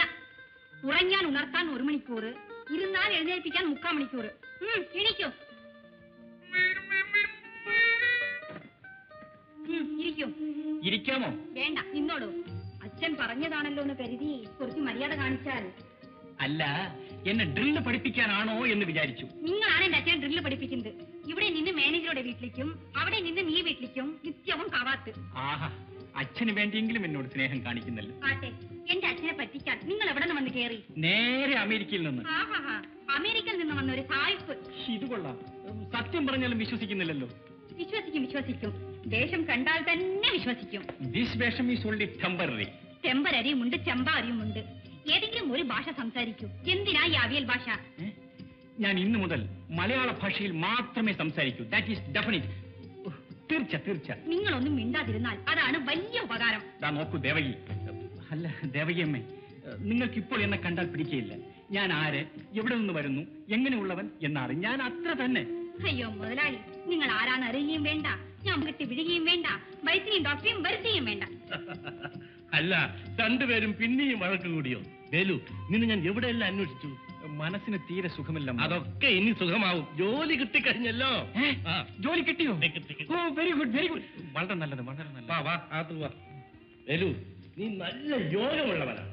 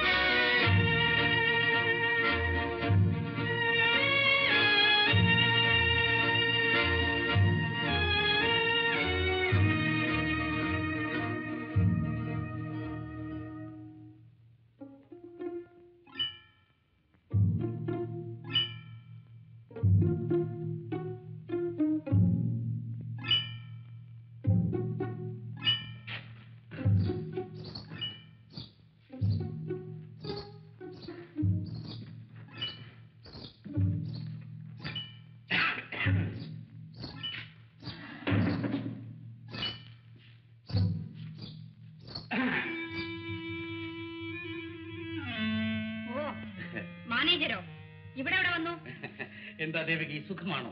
ഞാൻ നിന്നെ നേരിട്ട് കാണണമെന്ന് വിചാരിച്ച് ഇങ്ങോട്ട് വന്നതാണ്. അച്ഛൻ ഇവിടെ ഇല്ലേ? ഇല്ല. അപ്പോൾ ഞാൻ വന്ന സമയം കൊള്ളാമല്ലോ. ഞാൻ ഒരു മുഖ്യമായ കാര്യം നിന്നോട് പറയാൻ വേണ്ടിയാണ് ഇങ്ങോട്ട് വന്നത്. മാനേജർക്ക് മുഖ്യമായ സംഗതികൾ മാത്രമേ ഉള്ളല്ലോ. അതുകൊണ്ടാണ് ഞാൻ തന്നെ നേരിട്ട് ഇങ്ങോട്ട് വന്നത്. ദേവകി നിനക്കൊരു പ്രൊമോഷൻ അതായത് ജോലിക്കയറ്റം തരാൻ വേണ്ടി ഞാൻ നിശ്ചയിച്ചിരിക്കുകയാണ്. ഓഹോ ഇതാണോ? ഇത് സർവസാധാരണ. അതെ അതെ നിനക്കത് സാധാരണ. നിന്റെ സ്വഭാവ ഗുണത്തിനും രൂപസൗന്ദര്യത്തിനും ഈ പ്രമോഷനൊക്കെ സാരമില്ലാത്ത കാര്യം. എന്റെ ദേവകി ഞാനൊന്ന് പറഞ്ഞത് നീ വിശ്വസിക്കുകയില്ല. നീ ജോലി ചെയ്യാൻ വേണ്ടി ജനിച്ചവളേ അല്ല. പിന്നെ? ഉത്സാഹത്തിന്റെ ഉദ്യാനത്തിൽ അങ്ങനെ ഉലാത്തേണ്ടവൻ. അങ്ങനെയാണോ? ശേഷം കൂടി കേൾക്കട്ടെ. പറയട്ടെ ഞാൻ വളരെയധികം പറഞ്ഞു കളയും. ഏതായാലും ആരംഭിച്ചല്ലോ. പറഞ്ഞോളൂ. സൗഭാഗ്യത്തിന്റെ ഏഴുനില മാളികയിൽ ആനന്ദത്തിന്റെ മുന്തിരിച്ചാറും കുടിച്ച് പ്രേമത്തിന്റെ മധുരഗീതവും പാടി ഒരു രാജകുമാരിയെ പോലെ വാഴേണ്ടത്. തീർന്നില്ല ദേവകി. നിന്റെ ആ കറുത്ത നീണ്ട കുളിർകുന്തളം കരിമീൻ പിടിക്കുന്ന പോലുള്ള കൺമിഴികളും കണ്ണാടി പോലത്തെ കവിൽത്തടവും കടഞ്ഞെടുത്ത കുടൽക്കെട്ടും അരയന്നപ്പിട പോലുള്ള ആ നടപ്പ്. Hi hi. നിന്നെ സ്വന്തമായി കിട്ടുന്നവൻ ഭാഗ്യവാനാണ് ദേവകി. മഹാഭാഗ്യം. എങ്ങനെ ഇരിക്കുന്നു എന്റെ വർണന? അപാരം അപാരം. ആട്ടെ ഈ വാചകങ്ങളെല്ലാം ഏത് പുസ്തകത്തിൽ നിന്നും കാണാതെ പഠിച്ചു? ഏത് പുസ്തകത്തിൽ കാണും ദേവകി? ഇത്ര ഭംഗിയേറിയ വർണന. ഇതെല്ലാം എന്റെ ഹൃദയത്തിന്റെ അടിത്തട്ടിൽ നിന്നും പൊട്ടി വരികയാണ്. പൊട്ടി. ഹൃദയമോ? അത് നിങ്ങൾക്കുള്ളതായ അറിവില്ലല്ലോ. വെറുതെ കളിയാക്കാതെ ദേവകി. കളിയും കാര്യവുമൊക്കെ മതി. നിങ്ങൾക്ക് പോകാം. നീ എന്നെ പോകാൻ പറയുകയാണ്. നിനക്ക് കഷ്ടപ്പെടാനല്ലാതെ മറ്റൊന്നും അറിഞ്ഞുകൂടെ ദേവകി? എനിക്ക് മറ്റൊന്നും അറിയണ്ട. ഇനിയും ഇവിടെ നിന്ന് ചെലക്കാതെ ഒന്ന് പോയി തന്നാൽ മതി. അങ്ങനെ പറയണ്ടേ പെങ്ങളെ. ഞാൻ അപ്പോഴേ പറഞ്ഞു. ഇനി കിട്ടുന്നൊക്കെ ഒന്ന് മേടിച്ചു. ഭംഗിയുള്ള ദേഷ്യം. ഈ ജീവിതം എന്ന് പറയുന്നത് ആനന്ദിക്കാനുള്ളതാണ് ദേവകി. മാനേജർ സാർ ഈ ആനന്ദം എന്ന് വെച്ചാൽ എന്താണെന്നറിയാമോ? കണ്ടവന്റെ മുതൽ കട്ടെടുക്കാതെ അവനവൻ തന്നെ അധ്വാനിച്ച് കാശുണ്ടാക്കി. ആ കാശ് കൊണ്ട് കുടുംബം നടത്തി ഈശ്വരനെ വിചാരിച്ച് കിടന്നുറങ്ങുന്നില്ലേ? അതാണ് ആനന്ദം. ഓ അതിൽ ആനന്ദവുമില്ല ഒരു മണ്ണാങ്കട്ടയുമില്ല. മര്യാദയും മനസാക്ഷ്യമില്ലാത്ത നിങ്ങളുടെ അഭിപ്രായം ഇവിടെ ആവശ്യമില്ല. ദേവകി എന്താ? എന്റെ ക്ഷമയെ നീ അധികം പരിശോധിക്കരുത്. നിങ്ങളോടും ഞാൻ അത് തന്നെയാണ് പറയുന്നത്. ഞാൻ എത്ര തവണ നിന്നോട് അപേക്ഷിച്ചിട്ടും നിന്റെ മനസ്സ് മാറിയില്ലേ? ഞാൻ എത്ര തവണ നിഷേധിച്ചിട്ട് നിങ്ങൾക്കത് മനസ്സിലാവുന്നില്ലേ? ദേവകി! എന്തിനലറുന്നു നാശത്തിന്റെ വിത്ത് വിതയ്ക്കാതെ ഞാൻ ഈ ഫാക്ടറിയിലെ മാനേജർ. നീ വെറും ഒരു കൂലിക്കാരി. കൂലിക്കാർക്ക് വേണ്ട മര്യാദ. മാനേജർക്കും വേണ്ടതാണല്ലോ. എന്നെ ദേഷ്യം പിടിപ്പിക്കരുത്. എന്റെ ഈ ചൂണ്ടുവിരലിന്റെ ചലനത്തിനൊത്ത് ആടേണ്ടവളാണ് നീ. കളിച്ച് നടക്കേണ്ട കാലം മുതൽ അധ്വാനിച്ച് തളം വിറ്റ ഈ കൈകൾ ചലിച്ചാൽ നിങ്ങളുടെ താളത്തിനൊപ്പം എന്റെ ഒരു പരമുടി നാട് പോലും ആടുകയില്ല. അവന്റെ കുടലിങ് പോരട്ടെ. കുടലിങ് പോരട്ടെ. ധിക്കാരിയെ നീ നശിക്കാൻ പോവുകയാണ്. മരിക്കാൻ പോലും സന്നദ്ധയാണ് ഞാൻ. അടക്ക് നിന്റെ നാക്ക്. ഛീ, കടക്കേണ്ട പടിക്ക് പുറത്ത്. അതെ അങ്ങനെ ഇവിടെ ഉണ്ട് പെങ്ങളെ? അയ്യോ എന്താണ് സഭാഷ് അവളുടെ ഒരു അഹങ്കാരം. അതും എന്നോടാണ് കാണിക്കുന്നത്. നോക്കിക്കോ ഞാൻ എന്ത് ചെയ്യുന്നു? പറയുന്നിട്ട്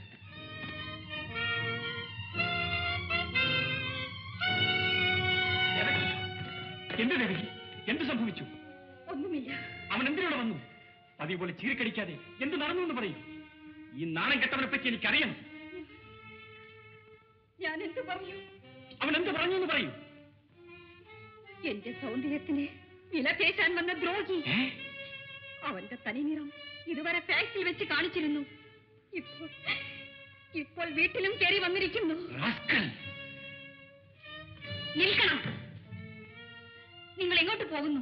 അവനെ ഫാക്ടറിയിൽ നിന്ന് പിടിച്ച് പുറത്തു തള്ളണം. അതിന് നിങ്ങളെ കൊണ്ട് സാധ്യമല്ല. സാധിക്കും. നീ മാറി നിൽക്ക്. കോപം കൊണ്ട് നിങ്ങൾ എന്തിനോ ഭാവിക്കുന്നു.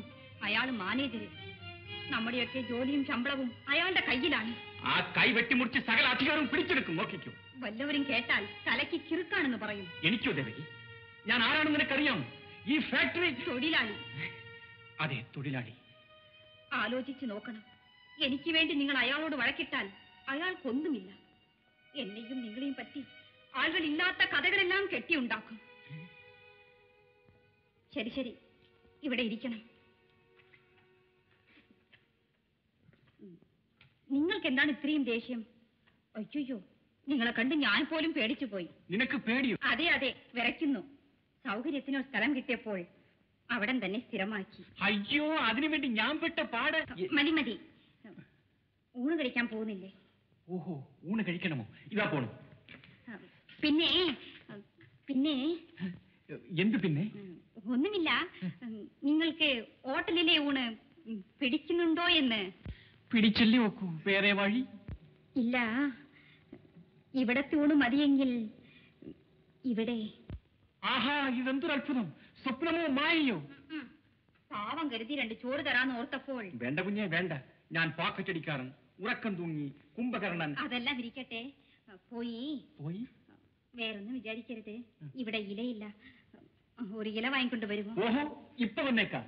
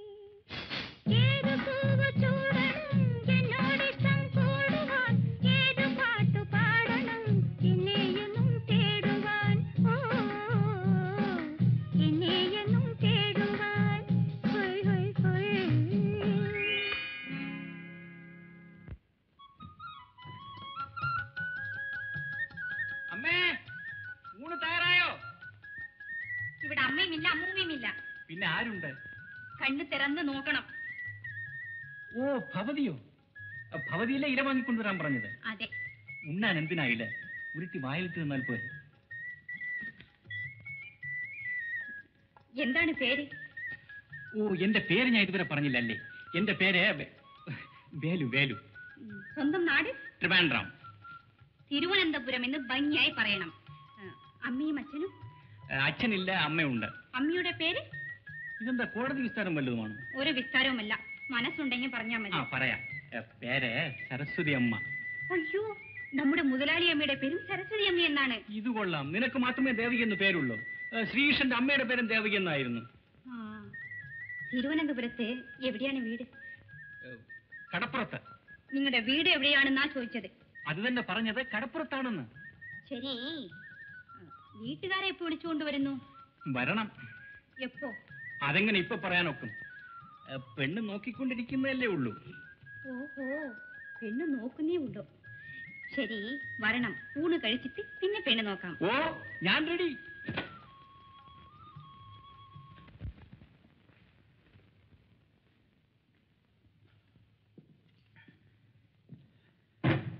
എടാ ഇഡിയറ്റ് ഇഡിയറ്റ് നിന്നല്ലടാ എന്നെയായിരുന്നു. താങ്ക്സ് സാർ പേര് മാറ്റി വരും ഞാൻ അറിഞ്ഞില്ല. സിഗരറ്റ്. സിഗരറ്റ്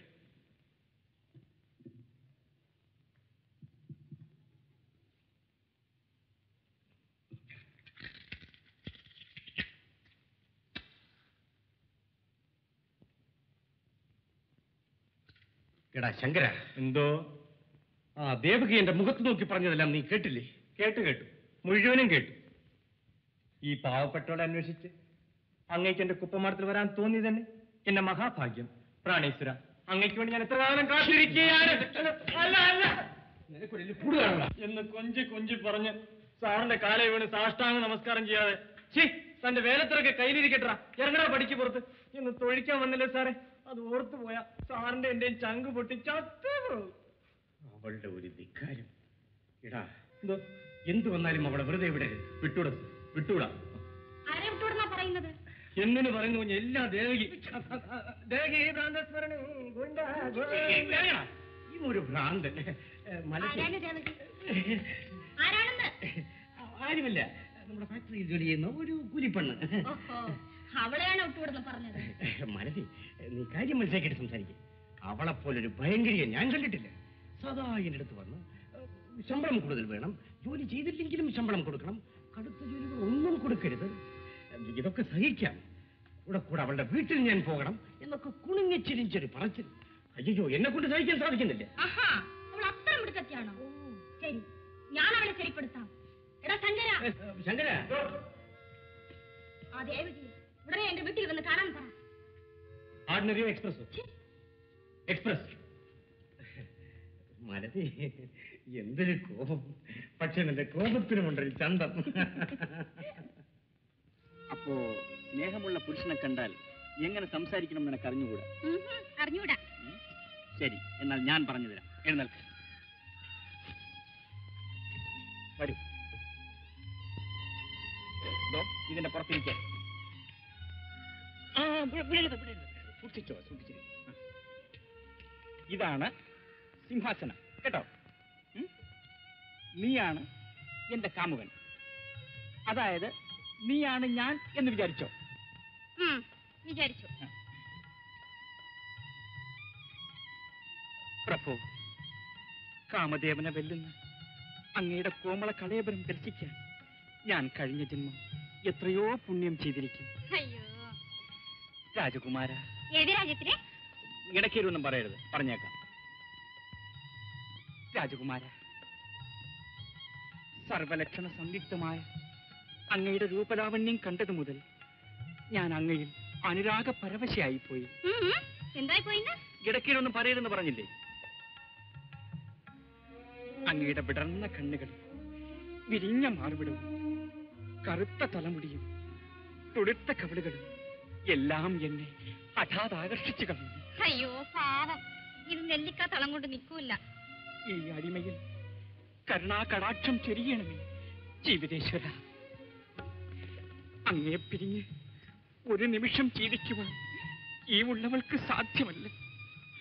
അങ്ങനെ കൈവിടിഞ്ഞാൽ ഞാൻ എന്റെ പ്രാണൻ തന്നെ ഉപേക്ഷിച്ചു കളയും. അയ്യോ ഇതെല്ലാം പഴയത് ഓൾഡ് മോഡൽ ശരി എന്നാ വേണ്ട. രാജാവ് റാണി ഒന്നും വേണ്ട. സാധാരണ മനുഷ്യർ പറയുന്നത് വല്ലതും അറിയാവോ? ഒന്നും പറയാനും പോകുന്നില്ല അതിന്റെ ആവശ്യവുമില്ല. കണ്ണും കണ്ണും കഥ പറയുമ്പോൾ എന്തിനു ചുമ്മാ സംസാരം? സംസാരിക്കണ്ട. സംസാരിക്കണ്ടെന്ന് പറഞ്ഞത്? മിണ്ടരുത്. മിണ്ടിയാൽ? എനിക്ക് കേൾക്കണ്ട. നീ അല്ലാതെ പിന്നെ ആര് കേൾക്കാനാണ്? ദേവകി നീ എന്നെ കണ്ട അന്ന് മുതൽ സദാ ദേഷ്യവും വഴക്കുമാണല്ലോ. എന്റെ ദേഷ്യം കാണാനല്ലേ നിങ്ങൾ ഇങ്ങനെയൊക്കെ ചെയ്യുന്നത്?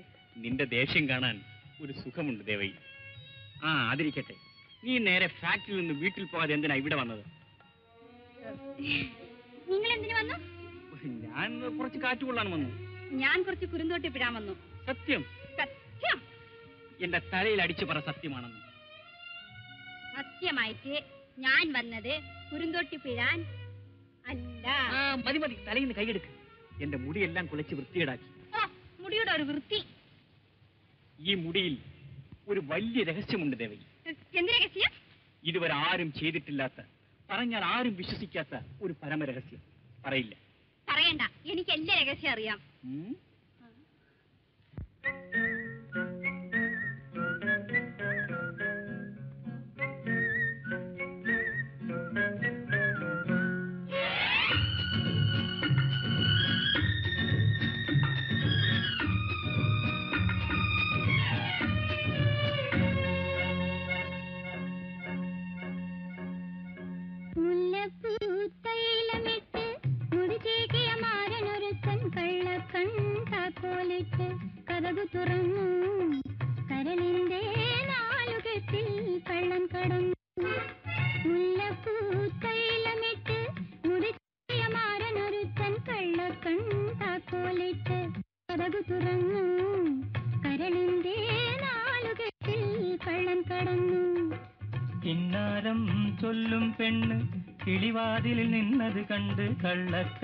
താക്കോലിട്ട് കഥകു തുറന്ന് കരളിന്റെ നാലുകെട്ടിൽ കള്ളൻ കടന്നു.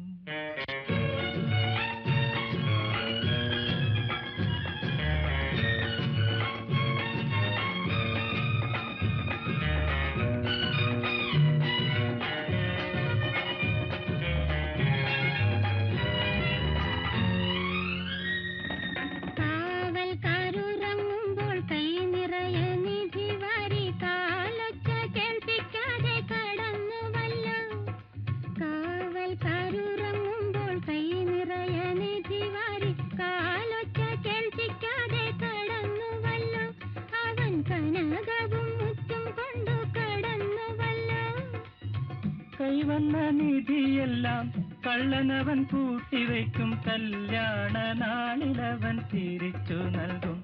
പെണ്ണെ എള്ളോളം കുറയാതെ തിരിച്ചു നൽകും.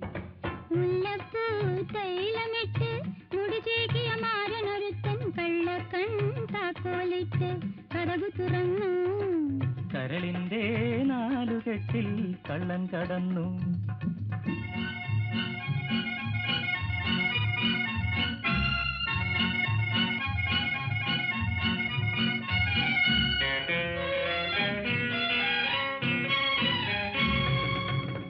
നാലാളുടെ മുൻപിൽ കൂടി നാഗസ്വരമേളവുമായി. നാലാളുടെ മുൻപിൽ കൂടി നാഗസ്വരമേളവുമായി. നാളെ നിൻ വീട്ടിലവൻ കാലുകുത്തും. അപ്പോൾ നാണം കുണുങ്ങി പെണ്ണേ എന്തു ചെയ്യും? വാലിട്ടു കണ്ണെഴുതി വാസന്തി പൂങ്കുലച്ചോടി. വാലിട്ടു കണ്ണെഴുതി വാസന്തി പൂങ്കുലച്ചോടി. വളയിട്ട കൈയുകൊണ്ടു കണ്ണിഴി പൊത്തും. കിന്നാരം ചൊല്ലും പെണ്ണ് കിളിവാതിലിൽ നിന്നത് കണ്ട് കള്ളക്കൺ താക്കോലിട്ട് കഥകു തുറന്ന്. കരളിന്റെ നാലുകെട്ടിൽ കള്ളൻ കടന്നു.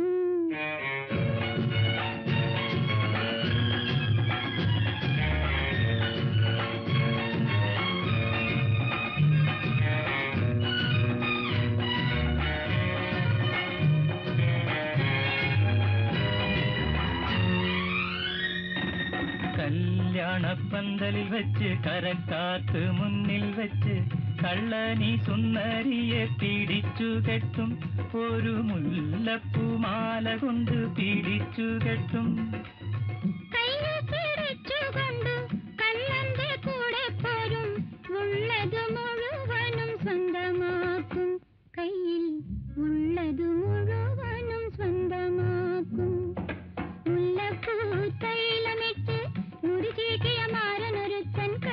കൺ താക്കോലിട്ട് കടകു തുറന്നു. കരളിന്റെ നാലു കെട്ടി കള്ളൻ കടന്നു. ആഹാ ആഹാ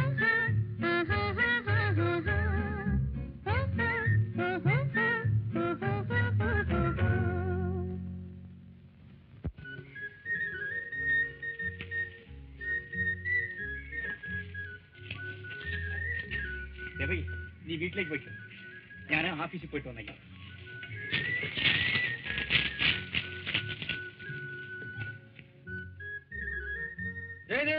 ഏ ദേവകി. ആ നിന്നെ എന്ന് അത്യാവശ്യമായിട്ട് കാണണമെന്ന് പറഞ്ഞു. അത് എന്നോട് ചോദിച്ചാലോ? അത് അവരോട് പോയി ചോദിക്കണം. എന്റെ അടുത്ത് അങ്ങനെ ചോദിച്ചേ തെറ്റ്. ശരി ശരി നിങ്ങൾ പോണം. ഞാൻ പോയി കണ്ടോ അത് എന്റെ അടുത്ത് പറയണ്ട. ആരാ അത്? അകത്ത് വരൂ.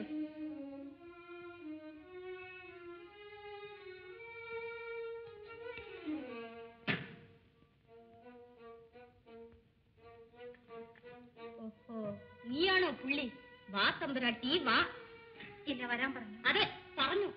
എത്ര പേരെ നിന്റെ പ്രേമവലയിൽ കുടുക്കിയിട്ടുണ്ടെന്ന് കണക്കൂട്ടി എല്ലാം അറിയാൻ. എന്താണ് ഇങ്ങനെ സംസാരിക്കുന്നത്? എന്തടി നടുക്കം? ഇടിവീഴുന്ന പോലെ തോന്നുന്നു. ഇല്ല. കുഞ്ഞെന്നെ കുറിച്ച് എന്തോ തെറ്റി. മതി മതി. നിർത്തടി. നീയല്ലേ ദേവകി? അതെ. രാമൻ നായരുടെ മഴൾ അതെ. പിന്നെ എന്തടി? നിന്റെ പ്രേമ ലീലകളൊക്കെ ഈ നാട്ടിലെ അണ്ണാടിപ്പാട്ടാണല്ലോടി അതൊന്നും സത്യമല്ല കുഞ്ഞെ. സത്യം? ഹരിചന്ദ്രൻ രണ്ടാമത് താലി കെട്ടിയത് നിന്നെയാണല്ലോ എടി നിന്നെ ഫാക്ടറിയിൽ ജോലി ചെയ്യാൻ പറഞ്ഞു. അതോ കണ്ണിൽ കണ്ട ആളുകളെല്ലാം മയക്കെടുത്തുവാൻ പറഞ്ഞു? കുഞ്ഞേ ഇങ്ങനെയൊന്നും പറയരുത്. ഞാൻ ഒന്നും ഒന്നും അറിയാത്തവളാണ്. അതെ അതെ. പാലൂടി മാറാത്ത കൊച്ചു കുഞ്ഞ്. ഒന്നുമേ അറിഞ്ഞുകൂടാ. സത്യം പറ. നീ ആരേക്കാണ് കണ്ണു വച്ചിരിക്കുന്നത്? പറ. എന്തടി തുറിച്ചു നോക്കുന്നത്? പിന്നെ പിന്നെ എനിക്ക് എനിക്ക്? ഒരൊറ്റ ആളോട് മാത്രമാണ് പ്രേമം. ആരാണത്? അദ്ദേഹം എന്നെ കല്യാണം ചെയ്യാൻ അവന്റെ പേര്?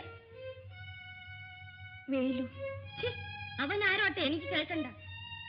വേറെ ആരെങ്കിലും നീ? ഇല്ലേ ഇല്ല. മറ്റാരുടെ മുമ്പിൽ നീ കൊഞ്ചിക്കുഴഞ്ഞ് ആടിയിട്ടില്ല പച്ചക്കള്ളം. കുണുങ്ങി കുണുങ്ങി ചിരിച്ചിട്ടില്ല. വെറും നാണ. കടക്കണ്ണെറിഞ്ഞ് കഴുത്തും വെട്ടി തിരിച്ച് നടന്നിട്ടില്ല. അത് എനിക്ക് അറിഞ്ഞേക്കൂടാ ആട്ടെ ഇതൊക്കെ സത്യമാണെന്ന് തെളിയിച്ച? ഞാൻ ഞാൻ തൂങ്ങിച്ചത്തുകാരും നീയാണോടി തൂങ്ങിച്ചാകുന്നത് എങ്കിൽ എത്ര മുമ്പേ നീ ഇത് ചെയ്തി? കുഞ്ഞെ ഞാൻ തൊഴുതു പറയുന്നു.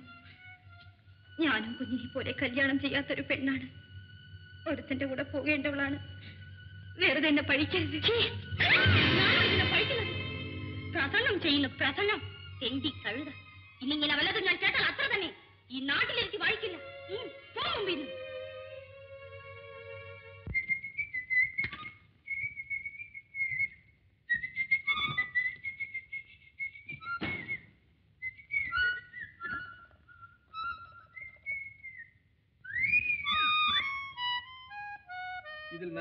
മാത്രമേ ഇരിക്കാൻ പാടുള്ളൂ എന്നുണ്ടോ ഞാനൊന്നിരുന്നു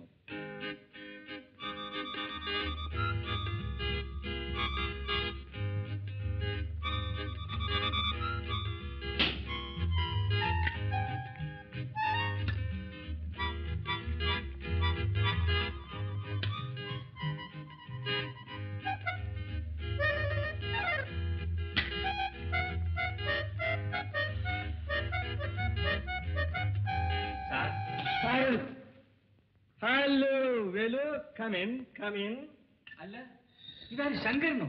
നീ എന്തിനാണ് ഇവിടെ കയറിയിരിക്കുന്നത്? വെലു ഇതിന്റെ പേരാണ് ദുഷ്ടാസനം. എന്ന് വെച്ചാൽ ദുഷ്ടന്റെ ആസനം എന്നർത്ഥം. അത് ശരി. എന്നാ നിനക്ക് മരിക്കാം? വേലു യു സിറ്റ് തേവരുടെ ആന കാട്ടിലെ തടി പിടിയിടാ പിടി എന്ന് പറഞ്ഞ പോലെ വല്ലവന്റെയും പണം വല്ലവരും വാങ്ങിച്ചിട്ടു. നീ ഇരുന്നത് സൂചിച്ചോ? സിഗരറ്റ് വലിക്കുന്നു. വേണ്ട. ഓ നിങ്ങളൊക്കെ ബീഡി ആയിരിക്കും ഉപയോഗിക്കുന്നത്. മാനേജർ എവിടെ പോയി? എന്നെ ഓഫീസിൽ വരാൻ പറഞ്ഞിരുന്നു പോലും. ആ വായ നോക്കി വല്ല പെൺപിള്ളേരുടെ പുറകെ കറങ്ങാൻ പോയി കാണും. നോക്ക് അവന്റെ കുട്ടെല്ലാം ഈ ശങ്കറിന്റെ ഉള്ളം കയ്യിലാണ് ശങ്കരൻ വിചാരിച്ചാൽ അവൻ ഔട്ട്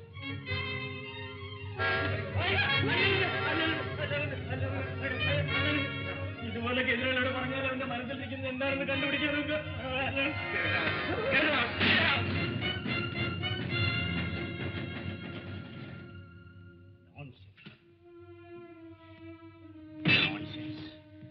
എന്നെ വരാൻ പറഞ്ഞത്? നീയാണോ വേലു? അതെ. ഇവിടെ ജോലിക്ക് ചേർന്നിട്ട് എത്ര കാലമായി? പത്തിരുപത് ദിവസമായി. ഓ അതിനു മുമ്പ് വേല വെച്ചു തുടങ്ങിയല്ലേ? വേലയ്ക്കാണെന്നോ ഞാൻ ഇവിടെ വന്നത്.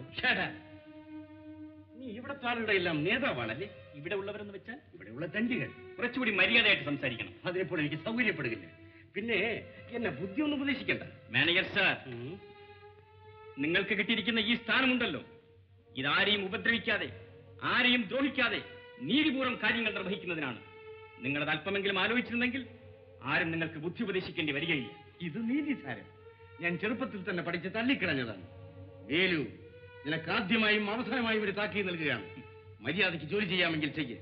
അല്ലാതെ അനാവശ്യമായ കാര്യങ്ങളിൽ ഇടപെട്ടാൽ അനാവശ്യമായ സംഗതികൾ കിട്ടുന്ന പണം ജീവിക്കാൻ തികയുന്നില്ല. കൂലി കൂട്ടിത്തരണം എന്ന് ചോദിക്കുന്ന അനാവശ്യമാണ്. തൽക്കാല ദാരിദ്ര്യം തീർക്കാൻ എന്തെങ്കിലും ബോണസ് തരണം. എന്ന് ചോദിക്കുന്ന അനാവശ്യമാണ്. ഏതാണ് അനാവശ്യം? നിരത്തേണ്ടത് നിർത്തേണ്ടത് ഞാനല്ല. നിങ്ങളാണ്. തൊഴിലാളികളുടെ കുട്ടികൾക്ക് പള്ളിക്കൂടം ഉണ്ടാക്കാമെന്നും പറഞ്ഞ് കള്ളക്കണക്കെഴുതി പണം കട്ടെടുക്കുന്നില്ലേ? അത് നിങ്ങൾ ആദ്യം തീർത്തണം തീർന്നോ അതോ ഇനിയുമുണ്ടോ എങ്ങനെ തീരും? എവിടെ തീരും? പാവപ്പെട്ട തൊഴിലാളികളുടെ വീട് വൃത്തിയാക്കാനെന്നും പറഞ്ഞ് നോട്ട് നോട്ടായി കട്ടെടുക്കുന്നില്ലേ? ഞാൻ ഒരു കാലത്ത് പറയേണ്ടി വരും മാനേജർ സാറേ. ആരോടാണ് സംസാരിക്കുന്നതെന്ന് നല്ലവണ്ണം ഓർമ്മിക്കും. ഓർമ്മ തെറ്റിട്ടില്ല മാനേജർ സാറേ. ഓർമ്മ തെറ്റിയിട്ടില്ല. താൻ പെറ്റ മകൻ സ്ഥലത്തില്ലാത്തത് കൊണ്ട് ആ സ്ഥാനത്തിന് നിങ്ങളാണ് അർഹൻ എന്ന് കണ്ണുമടച്ച് വിശ്വസിച്ച് ഒരു വലിയ സ്ഥാപനത്തിന്റെ സകല ചുമതലകളും നിങ്ങൾക്ക് വേണ്ടി വിട്ടുതന്ന് നിഷ്കളങ്കായ ഒരു സ്ത്രീയെ രാവും പകലും വഞ്ചിക്കുന്ന ഒരു ഭയങ്കരനാണ് നിങ്ങളെന്ന് നല്ലവണ്ണം ഓർമ്മിച്ചുകൊണ്ട് തന്നെയാണ് സംസാരിക്കുന്നത്. നിനക്ക് വന്ന ഒരു മാറ്റം. വിശപ്പ് പട്ടിണി ദാരിദ്ര്യം എന്നൊക്കെ പുലമ്പിക്കൊണ്ട് ഇവിടെ കയറുന്നത് നിനക്ക്. ഇപ്പോഴെന്തൊരു അഹങ്കാരം എടാ. ഞാൻ വിചാരിച്ചാൽ ഈ ക്ഷണം ഈ ജോലിയിൽ നിന്ന് പിടിച്ചുവിടാൻ സാധിക്കും. ഞാൻ വിചാരിച്ചാൽ ഞാൻ വിചാരിച്ചാൽ ഈ ഫാക്ടറിയിൽ വേല ചെയ്യുന്ന അത്രയും പേർ വിചാരിച്ചാൽ വേലു. വേലു ഞാൻ നിന്നെ ഒന്ന് വിരട്ടി നോക്കിയതല്ലേ? പക്ഷെ നിനക്ക് ഇത്രയും കോപം വരുമെന്ന് ഞാൻ കരുതിയിരുന്നേയില്ല. നിന്നെപ്പോലെ ബോധവും അറിവും ഉള്ളവരോട് ഞാൻ എപ്പോഴും സമനിലയാണ് പാലിക്കുന്നത്. അതെന്റെ സ്വഭാവമാണ്. എനിക്ക് വലു എനിക്ക് സാറിനെ വിളിച്ച? നിന്നെ പറഞ്ഞത്? പിന്നെ? എന്നോട് ചോദിക്കേ ഞാൻ തരാം. അല്ലാതെ കണ്ടെത്തിന്റെ കൂടെ എല്ലാം കൂടി ഇൻകിലാബും വിളിച്ച് സത്യാഗ്രഹം നടത്തി നിന്റെ ജീവിതം പാഴാക്കരുത്. ഇന്ന ഒരു മുന്നൂറ് റുപ്യ വെച്ച്. വാങ്ങിക്കേ വരൂ വാങ്ങിക്കേ. മുന്നൂറ് രൂപയോ ഇതെന്തിനാ?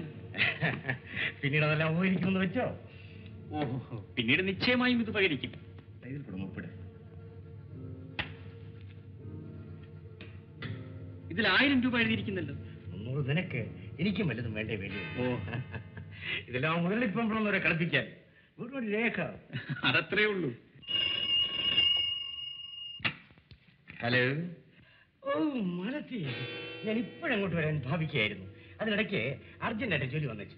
അഞ്ചു മിനിറ്റ് വന്നോളാം കൊള്ളാം. തീർച്ചയായിട്ടും വന്നുകൊള്ളാം thank you darling thank you അപ്പോൾ ഞാൻ അത്യാവശ്യമായി ജോലിക്ക് പോവുകയാണ്. ഞാൻ പറഞ്ഞതെല്ലാം നല്ല ഓർമ്മ വേണം. നമ്മുടെ ജോലിക്കാര് പോക്കറുകൾ എന്തെങ്കിലും ബഹളം ഉണ്ടാക്കിയാൽ ഉടനെ എന്നെ അറിയിക്കണം. ശരി. എല്ലാത്തിനെയും തുറച്ചു കളയാം. ആ, പിന്നെ പണം സൂക്ഷിക്കണം. സ്മാർട്ട് ബോയ്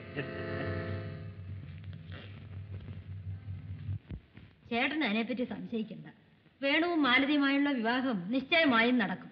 ആ നിശ്ചയത്തിൽ നിന്ന് ഞാനും എന്റെ മകനും ഒരിക്കലും മാറിപ്പോകുകയില്ലെന്നുള്ളത് തീർച്ച.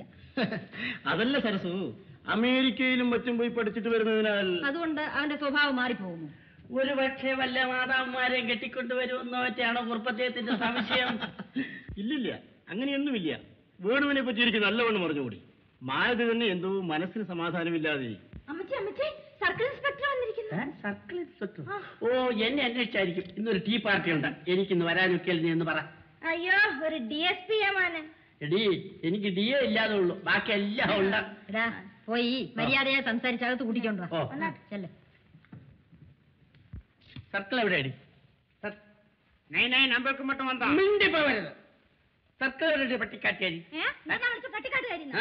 ഒരൊറ്റ വെട്ടിയാൻ വെട്ടിക്കളെ കേട്ടു. വന്നാ മിണ്ടി പോവരുത് സർക്കിൾ എവിടെ ഞാൻ നോക്കണം കണ്ണു തുറന്ന്. കാക്കി കുപ്പായം കുറുക്കന് ഒരു ബെൽറ്റും ഇല്ലെന്ന്. ഇവനാണോടി സർക്കിൾ? ഇവൻ കൂർക്കല്ലേടി കാവക്കാരനല്ലേടി? ഇതേ ഞങ്ങൾ ഉപയോഗിക്കും ഒരു വെട്ടിയാൻ വെട്ടിക്കളെ കേട്ടോ. വെട്ടും വെട്ടും ഇങ്ങനെ വെട്ടിയാരൊക്കെയാണ് ജല്ലാശുപത്രി ആ കിടക്കുന്നത് അല്ല അത് പോട്ടെ. എടോ കൽ ദിവാലി ഹേ ബക്ഷീഷ് ഓ അച്ഛാ ഒരു കാര്യം ചെയ്യാ ഇന്ന് പോയേച്ച നാളെ വായാ ഹേ. അപ്പൊ അമ്മയെ കാണാൻ നമുക്ക് അപ്പൊ വല്ലതും കിടക്കും പോയാ ഹേ. നടേരി ഹേ. ചേട്ടൻ ഒന്നുകൊണ്ടും ഭയപ്പെടണ്ട. വേണുവിന്റെ എഴുത്തനുസരിച്ച് അവൻ വന്നു ചേരാൻ ഇനി പത്ത് ദിവസമേ ഉള്ളൂ. അതിനു മുൻപ് അവൻ വന്നില്ലെങ്കിൽ ലക്ഷം രൂപ ചെലവായാലും ശരി എവിടെ ചെന്നെങ്കിലും അവനെ കണ്ടുപിടിച്ചു കൊണ്ടുവന്ന് മാലതിയുടെയും അവന്റെയും വിവാഹം നടത്തിക്കുന്ന കാര്യം ഞാൻ ഏറ്റു.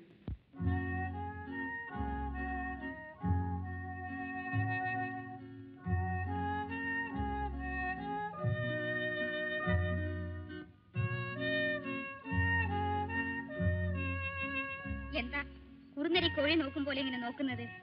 അല്ല ആ മാലതി പെണ്ണ് ഈ പൂ പോലത്തെ കവിളിലാണല്ലോ അടിച്ചതെന്ന് ഞാൻ നോക്കുകയായിരുന്നു. ഞാൻ ഇല്ലാതെ പോയല്ലോ. ഉണ്ടായിരുന്നെങ്കിൽ? അവൾ നിന്റെ ഒരു കവിളിലെ അടിച്ചോളൂ. ഞാൻ അവളുടെ രണ്ട് കവിളും അടിച്ചു പൊട്ടിച്ച് പല്ല് മുപ്പത്തിരണ്ട് എടുത്ത് കയ്യിൽ കൊടുക്കും. അതെ കൊടുക്കും കൊടുക്കും. അത്രത്തോളം വലിയ ആളല്ലേ? അവരാരും നമ്മളാര്? നമുക്കെല്ലാം ശമ്പളം തരുന്നില്ലേ? ആ മുതലാളിയെ കല്യാണം കഴിക്കാൻ പോണ പെണ്ണാണ് അവൾ. ആ കല്യാണം നടക്കാനൊന്നും പോകുന്നില്ല. നിങ്ങൾക്ക് എന്ത് ചുക്കറിയാം അവൾ അദ്ദേഹത്തെയും കാത്തിരിക്കാണ് കാത്തിരിക്കേ ഉള്ളൂ. അയാൾ വെറും മഠേനൊന്നുമല്ല. ആ കഴുതയുടെ കഴുത്തിൽ പോയി താലി കെട്ടാൻ. മടയനല്ല വലിയ ബുദ്ധിമാൻ. ഇവിടെ മകനെയും കാണാതെ അമ്മ കരഞ്ഞും പിഴിഞ്ഞും കഴിയുന്നു അയാൾ എവിടെയോ ചെണ്ടി തിരിഞ്ഞു നടക്കുന്നു. ശരി അയാൾക്ക് ഒരു കത്തെങ്കിലും അയച്ചൂടെ അയാൾക്ക് വല്ല ജോലി തിരക്കും ഉണ്ടായിരിക്കും. പിന്നെ പിന്നെ തെറ്റ അമ്മയെ കാണാത്ത ഒരു ജോലി തിരക്ക് ഞാൻ പോയി അയാളോട് എന്താണെന്ന് ചോദിച്ചിട്ട് വരാം. നിങ്ങൾ ഇരിക്കണം നിങ്ങൾ അയാളുടെ സെക്രട്ടറി ആണോ? എന്തായാലും ഇത്ര കടുത്ത മനസ്സ് ആർക്കും പാടില്ല. ദുഷ്ടൻ. ശരി നിങ്ങളുടെ മുഖം എന്തങ്ങനെ മാറുന്നത്? അല്ല അദ്ദേഹം ഒരു നല്ല മനുഷ്യൻ. നീ ദ്രോഹി ദുഷ്ടൻ എന്നൊക്കെ പറയുന്നല്ലോ എന്ന്. ദേവകി നമുക്കെന്തിനായി വല്ലവരുടെയും കാര്യം? നമുക്ക് ഇവിടെ ഒന്ന് ചുറ്റിക്കറങ്ങാം. അയ്യോ വേണ്ട വേണ്ട. ഞാൻ വരത്തില്ല. എന്താ? ഇപ്പോഴേ അടുത്തുള്ളവരൊക്കെ ഓരോന്ന് തിരുവൃത്തി തുടങ്ങി ഇനി നാട്ടുകാരെ കൊണ്ട് ഈ ചുറ്റിക്കറക്കണം. ഇനി കല്യാണം കഴിയുന്നത് വരെ നമ്മൾ കുറച്ച് അടക്കം ഒതുക്കമായി കഴിയണം. ഓഹോ അത്രേ ഉള്ളോ. ഇന്നു മുതൽ എണ്ണിക്കോ ദേവകി. ഒമ്പതാം ദിവസം നമ്മുടെ കല്യാണം. ടി, ടി, ടി, ടുടും, ടുടും, ഡും, ഡും, ഡും, ടും. അല്ല ഉടനെ നാണം വന്നു ഭാവം മാറി തലകുനിഞ്ഞു. ഈ നാണം ഇത്ര പെട്ടെന്ന് എങ്ങനെയാ വരുന്നത്? ഒരു പെണ്ണിനെ ഉം. ഏറ്റവും നാണം വരുന്നത് എപ്പോഴാണ്? എപ്പോഴാണ്? ഇടിയും മഴയും വരുമ്പോഴോ?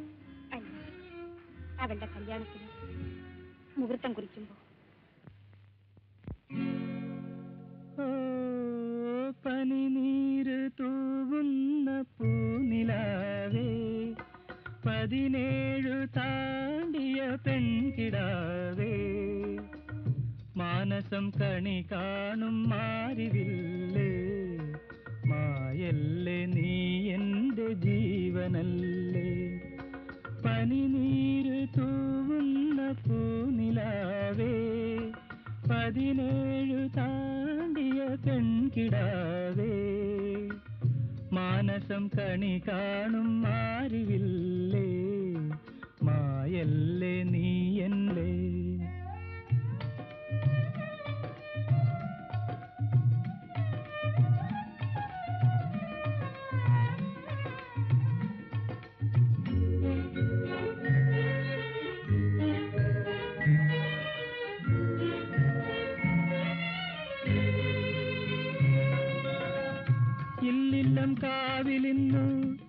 കാത്തിരുന്നു പിന്നെ പള്ളിപ്പും കുളങ്ങരെ കാത്തിരുന്നു.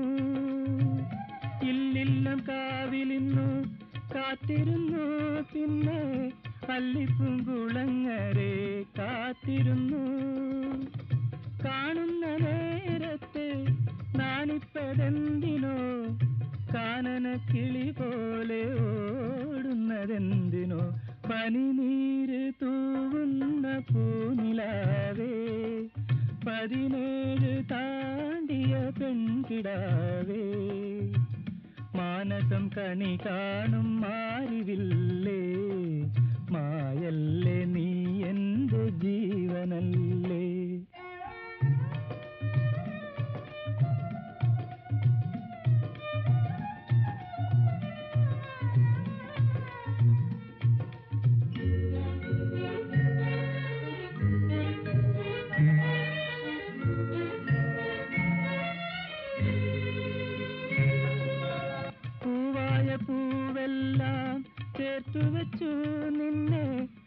പൂജിക്കാൻ പൂമാല കോർത്തു വെച്ചു.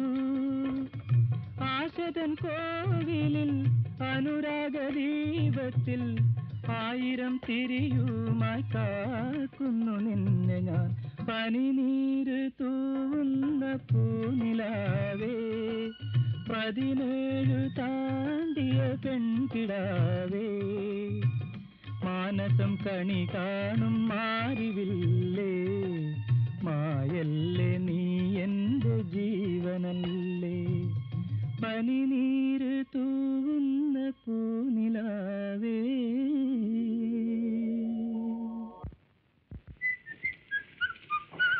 ചൂടിച്ചൂടാ ഒരു ചായ അടിക്കണം. ചായ. വരൂ. അവൻ ഇരുന്നാട്ടെ. ഇരുന്നാട്ടെ. ആ പിന്നെ എന്തൊക്കെയാ വിശേഷങ്ങൾ? എല്ലാം വിശേഷം തന്നെ. ആൾക്കാർ ഏതാണ്ടൊക്കെ പറയുന്നുണ്ട്. അല്ലെ ആൾക്കാർക്ക് എന്താ പറയാൻ പാടില്ലാത്തത്? എന്താണെന്ന് പറയണം. നീയും ആ രാമനായുടെ മകളും തമ്മിൽ വിരോധമാണെന്നോ? അല്ല നേകാണെന്നോ നിനക്ക് അവളെ കാണാതിരിക്കാൻ മേലെന്നോ? ഇത് ഞാൻ പറയുന്നല്ല ആളുകൾ അതെ ആളുകൾ ഇത്രയല്ലേ പറഞ്ഞോളൂ? ബാക്കി ഞാൻ പറയാം. ഞാൻ അവളെ കല്യാണം കഴിക്കാൻ പോകുന്നു. അങ്ങനെയോ? വളരെ സന്തോഷം. നിങ്ങൾ തമ്മിൽ വളരെ പൊരുത്തമാണ് എന്തിനു പറയുന്നു? പൊരുത്തമാണെന്ന് പറയുന്നത് എന്തിനാ ഈ പെരുമൂച്ച് വിടുന്നത്? ഒന്നുമില്ല അനിയാ. ഈ കല്യാണം കല്യാണം എന്ന് പറഞ്ഞാൽ അതൊരു തലയിലെടുത്താ അത് മാത്രമല്ല ലോകത്തിൽ ഇങ്ങനെ ഒരു കല്യാണം നടന്നിട്ടില്ലെന്ന് നിങ്ങൾ പറയും. അതിനാ നിന്റെ എഴുത്തേൽ അവൾ താലി കെട്ടാൻ പോവാണ്? ഛേ, അതൊന്നുമല്ല. പിന്നെ പൂമാലയ്ക്ക് വരെ പെരുമ്പാമനെ വിളിച്ച് കഴുത്ത് ഇടാൻ പോകുന്നു അതെ അതെ നിങ്ങൾക്കൊക്കെ ഇതൊരു തമാശ. കാണാൻ പോകുന്ന പൂരം പറഞ്ഞറിയിക്കണോ? അതെയോ? അല്ല അല്ല ഒരു വിശേഷം അറിഞ്ഞു? എന്താ? കൊച്ചുമുതലാളി വന്നോ? ഇടാ കൊച്ചു മുതലാളി വന്നാൽ ഞാൻ ഇങ്ങനെയാണോ നടക്കുന്നത്? അമേരിക്കയിൽ നിന്ന് കൊണ്ടുവരുന്ന suit coat hat rest walking stick ഒക്കെ ആയിട്ട് ഇങ്ങനെ സായിപ്പിനെ പോലല്ലേ നടക്കുന്നത്. ഞാൻ മലയാളം സംസാരിക്കില്ല ഇംഗ്ലീഷോ സംസാരിക്കുള്ളൂ. അത് മാത്രം പോരാ. ഈ തൊലികടെ ഒന്ന് ഉരിച്ചെടുത്താലേ തന്നെ സായിപ്പിന്റെ നിറം വരൂ. എന്റെ ഇല്ല. ഇനി ആരുടെയൊക്കെ തൊലിയാ ഉരിക്കാൻ പോകുന്ന കൊച്ചു ഇങ്ങോട്ട് വന്നോട്ടറാ അതുപോട്ടെ വിശേഷം എന്നാന്ന് പറ. എടാ നീ നോക്കിക്കോ ഇന്നേക്ക് പത്താം പൊക്കം. കൊച്ചു മുതലാളിയുടെ കല്യാണമാ. പെണ്ണ് ഏതാണെന്ന് അറിയാമോ? അതെങ്ങനെ നടക്കും? വരം വന്നു ചേർന്നിട്ടില്ല അതിന് മുമ്പ് വിവാഹം. കമ്പി അടിച്ചോ അതോ ഫോൺ മാർക്കോ എങ്ങനെ നടക്കും? അതുകൊണ്ട് തന്നെയാണടാ ഒരു ലക്ഷം രൂപ ചെലവാക്കി ദുനിയാവിലെങ്ങാൻ കൊച്ചുമുതലാളി ഉണ്ടെങ്കിൽ തപ്പിയെടുത്തോണ്ട് വരുന്നതിന് വേണ്ടിട്ട് കൊച്ചമ്മ അങ്ങോട്ട് കാശ് മുടക്കുകയാണ് കല്യാണ ദിവസവും നിശ്ചയിച്ചു അതെങ്ങനെ നടക്കും പറഞ്ഞു കേട്ടാ? അദ്ദേഹത്തിന് അവിടെ രണ്ട് മതാന്മാരും നാല് പിള്ളേരും കാണും. നീ ആയതുകൊണ്ട് ഞാൻ ക്ഷമിക്കുന്നു. വേറെ വലിയ ഇത് പറഞ്ഞിരുന്നെങ്കിൽ അടുത്ത ചൂക്കുകളുടെ വണ്ടി ഞാൻ പൊട്ടിച്ചേരും. എന്റെ തന്തയെ പറ്റി പറഞ്ഞ എനിക്ക് വ്യസനമില്ല. എന്റെ കൊച്ചുമുതലാളിയെ പറ്റി പറഞ്ഞാൽ എന്റെ കളർ മാറും കേട്ടോടാ? ആ. ബിസ്ക്കറ്റിന്റെ കാശ് ആ കണക്കിൽ എഴുതിക്കല്ല കൊച്ചുമുതലാളി വരുമ്പോ തന്നോളാം.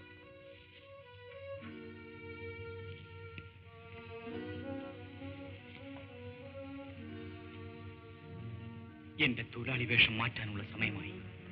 ഇനി താമസിച്ചാൽ ആപത്താണ്. മീനാക്ഷി. മധുര മീനാക്ഷി മീനാക്ഷി. കിടന്ന് തൊള്ളയിടുന്നത്. ഇതെന്താ പോയി വേണുക്കുഞ്ഞ് വരുമ്പോ കൊടുത്തോണ്ട് പോകാൻ ഒരു മുണ്ടും ഷർട്ടും. ഇത്ര മേടിച്ചോളാം വേറെ ഒന്നുമില്ല ആ ഒരു നേരിതും വെനീരും കൂടെ മേടിക്കണമെന്ന് വിചാരിച്ചു കാശ് തികഞ്ഞില്ല.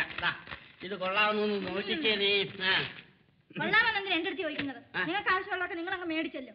എന്നാ ഭാര്യ നിരുത്തിയുണ്ട് അവൾ കൂടെ വല്ലതും വാങ്ങിക്കണം നിങ്ങൾക്ക് തോന്നിയോ? വേണക്കുഞ്ഞ് വരുമ്പോ നിങ്ങൾ മാത്രം ഒരുങ്ങി ചമഞ്ഞങ്ങ് പോയാൽ മതിയല്ലോ. ഞാൻ ഈ കയറിയതും പഴയതും ഒക്കെ കൊടുത്തോണ്ടും വരണം. എല്ലാ ആണുങ്ങളും ഭാര്യമാർ ഒരുങ്ങി അലങ്കരിച്ച് നടക്കുന്നത് കാണാൻ കൊതിക്കും. ഇവിടെ വരണോണ്ട് എന്റെ ദൈവമേ എന്റെ തലയിലെഴുത്ത്. എടി ഭാര്യ നീ താഴെ നിക്കടേ നീ ബഹളം കൂട്ടാതെ.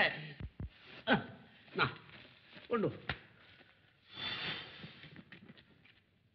അയ്യാ നല്ല സാരി. അയ്യോ. ഞാൻ പറഞ്ഞൊക്കെ അങ്ങ് തിരിച്ചെടുത്ത്. ഏ പറഞ്ഞത് മാത്രം തിരിച്ചെടുക്കാനൊക്കെയല്ല. അമ്പ് കൊണ്ടുള്ള വ്രണങ്ങൾ കാലത്താൽ നികന്നിടും. കൊമ്പുകൾ കണ്ടിച്ചാലും പാതകങ്ങൾ തളർത്തിടും.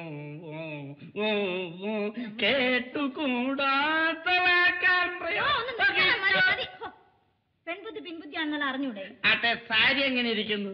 നിന്റെ ഈ കളറിന് ഉടുത്തോണ്ട് നടന്നാൽ കാണുന്നവരുടെ നിറമങ്ങ് മാറും.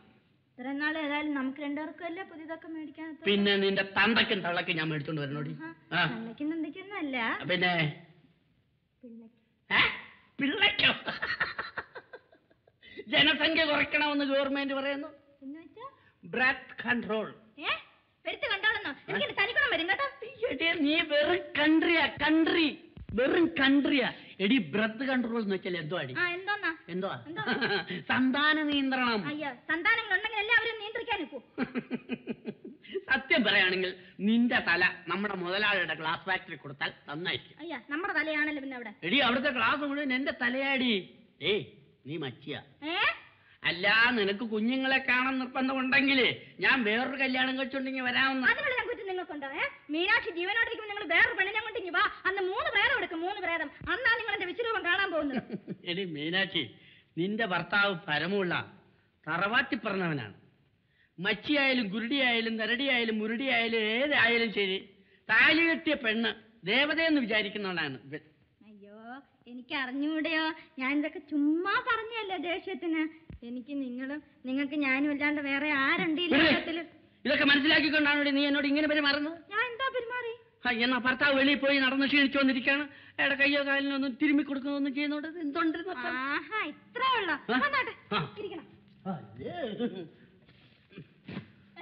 വെക്കണം. ഇങ്ങനെയാണോടി കാൽ തിരുമുന്നത് ഇതിപ്പോ തന്നെ അങ്ങോട്ട് പിന്നെ എന്താ വേണം? പറഞ്ഞാൽ ചെയ്താലും കുറ്റം ചെയ്തിട്ടാലും കുറ്റം ഇപ്പൊ. ആ എന്നാ ഇങ്ങനല്ല കാൽ തിരുമേണ്ടത് ആ ഞാൻ പഠിപ്പിച്ചുതരാം. നീ ഇവിടെ ഇരി. നീ ഇവിടെ ഇരി. എങ്ങനെയാ കാൽ തിരുമേണ്ടെന്ന് പഠിപ്പിച്ചുതരാം. ആ. അയ്യോ ഭാര്യയുടെ കാലെ പിടിച്ചാൽ അത് മഹാഭാവമാണെന്നാണല്ലോ. എന്ത് ചെയ്യും? ഈ പാവമെല്ലാം എവിടെ ചെന്ന് അവസാനിക്കോ? നീയാണല്ലോടി ഇത് അനുഭവിക്കേണ്ടത്.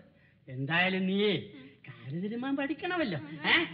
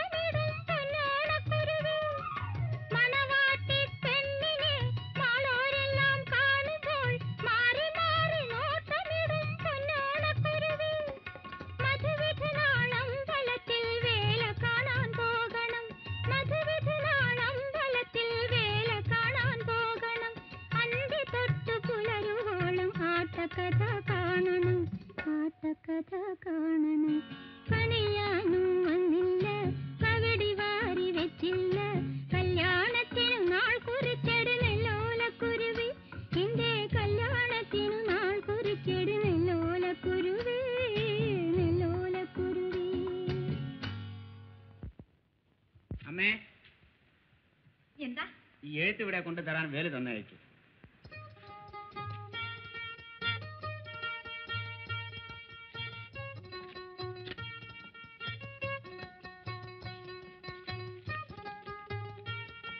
പ്രിയപ്പെട്ട എന്റെ ദേവകി ഞാൻ ഒരു അത്ഭുതം ചെയ്ത് കാണിക്കുമെന്ന് നിന്നോട് പറഞ്ഞിട്ടുള്ളത് ഓർക്കുന്നുണ്ടല്ലോ. അത് ഇതാ നടക്കാൻ പോകുന്നു. നിന്നെ നേരിൽ വന്ന് കാണുവാൻ ഇപ്പോൾ സമയമില്ല. ഒട്ടും താമസിക്കാതെ തന്നെ ഞാൻ നിന്റെ അടുത്ത് വന്നു ചേരും. വേലും. എന്ത്? അത്ഭുതമോ? നേരിൽ കാണാൻ സമയമില്ല. ഒട്ടും താമസിക്കാതെ തന്നെ തിരിച്ചു വരും. എന്നെ കാണുവാൻ പോലും സമയമില്ല. താമസിയാതെ തന്നെ തിരിച്ചു വരും. എപ്പോഴാണ് തിരിച്ചു വരുന്നത്? വിശ്വസിച്ച പെണ്ണിനെ വിട്ടേച്ചു പോകുന്നതാണ് നിങ്ങളുടെ അത്ഭുതം. എന്താ മോളെ? അല്ല നീ കരയുന്നോ?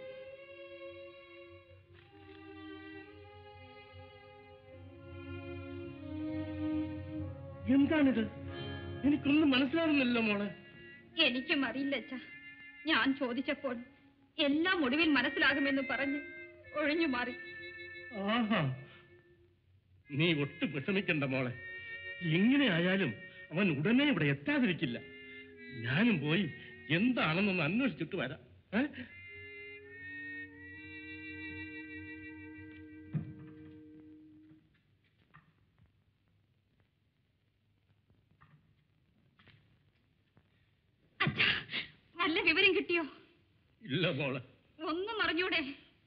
ഒന്നും അറിഞ്ഞുകൂടാ? വേലു പോയതിനെ കുറിച്ച് ആർക്കും ഒന്നും അറിഞ്ഞുകൂടാ പോലും. മറ്റുള്ളവർ ഓരോന്ന് പറയുന്നത് കേൾക്കുമ്പോ അവൻ നമ്മളെ ചതിച്ചേച്ചു പോയെത്താ തോന്നണത് ഇല്ലച്ചാ.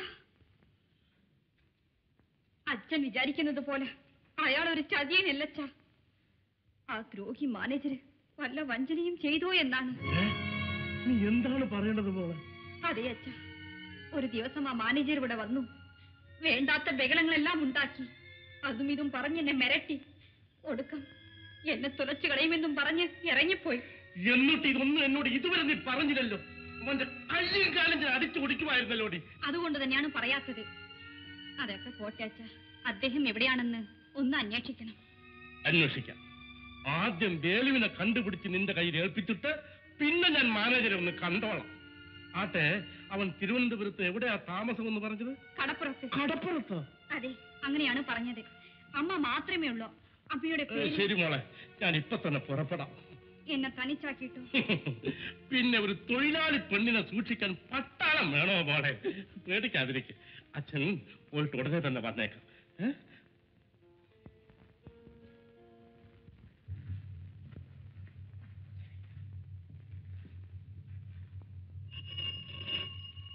Nuisance nuisance hello hello wrong number wrong number എവിടാ അവൾ? മാറി നിൽക്കടാ മടസാമ്പ്രാണ് പൊന്നു തമ്പുരാട്ടി എഴുന്നള്ളി വരുമ്പോൾ കുറുക്ക നിൽക്കാതടാ കുരുത്തം കെട്ടവൻ. ഹായ്. മാനത്ത് നിന്ന് പറന്നെത്തിയ മാതാക പോലെയാണല്ലോ വരവ്. കഷ്ടം. കള്ളക്കടാക്ഷം കൊണ്ട് കരൾ പറിക്കുന്ന ആ കരിങ്കൂവള നയനങ്ങൾ. ഇന്ന് കണ്ണീർ തുളുമ്പി കലങ്ങി മറിഞ്ഞിരിക്കുന്നു. ഇത് കണ്ട് ഞാൻ എങ്ങനെ സഹിക്കും എന്റെ ദേവനി എടി ഈ ഒളിച്ചുകളി തുടങ്ങിയിട്ട് എത്ര നാളായി? ഒരു ഒളിച്ചുകളിയുമില്ല. എന്റെ മനസ്സിനിണങ്ങിയ ഒരാളെ. പ്രേമിച്ചു പോയി അതിലെന്താണ് കുറ്റമെന്ന് പറയാൻ പോവുകയാണല്ലേ? നിന്റെ മനസ്സിനിണങ്ങിയ മഹാനുഭാവൻ ഇപ്പോൾ എവിടെ പോയി എന്റെ പൊന്നു പെങ്ങളെ? എവിടെ പോയാലും മടങ്ങി വരും. മടങ്ങി വരും. ആ പണ്ട് പറന്നുപോയി തങ്കം പറന്നുപോയി. തേൻ കുടിച്ച് മത്ത് പിടിച്ച് പറന്നുപോയി. മിണ്ടാതിരിക്കൂ. അദ്ദേഹം എന്നെ കല്യാണം ചെയ്യാൻ പോകുന്ന ആളാണ്. കല്യാണം ചെയ്യാൻ വന്നവനല്ലേ? കളിപ്പിച്ചിട്ട് കടന്നു കളയാൻ വന്ന വഞ്ചകൻ എന്ന് പറ. തുണയും കൊതിയും പറഞ്ഞ് അടുത്തുകൂടി തുളയും തൂണുമാണെന്നും പറഞ്ഞ് വീമ്പിളക്കി അവസാനം പറ്റിച്ചിട്ട് ഇറങ്ങി ഓടുന്നില്ലേ? അവനെയൊക്കെ കാണുമ്പോൾ നിനക്ക് എന്തൊരു ശൃംഗാരം എന്തൊരു മന്നാഹാസം പ്രേമം. എന്നെപ്പോൾ ആണത്തിലുള്ളവരെ കാണുമ്പോൾ നിനക്ക് പുച്ഛവും നീരസവും വെറുപ്പും.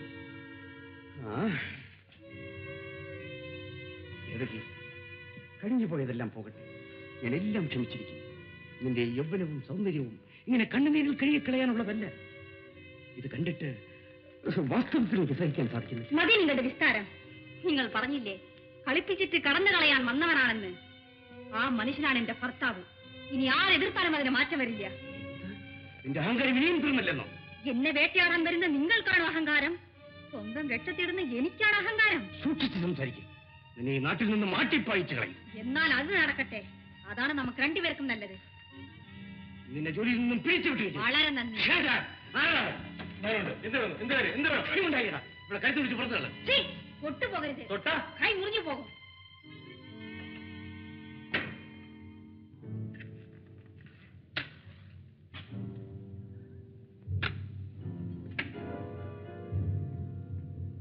ശങ്കര നീ ഉടൻ അവളുടെ വീട്ടിൽ ചെന്ന് സകല സാധനങ്ങളും തൂക്കി പുറത്തിറങ്ങി. കഥവും പൂട്ടി താക്കോലുമായിട്ട് വാ.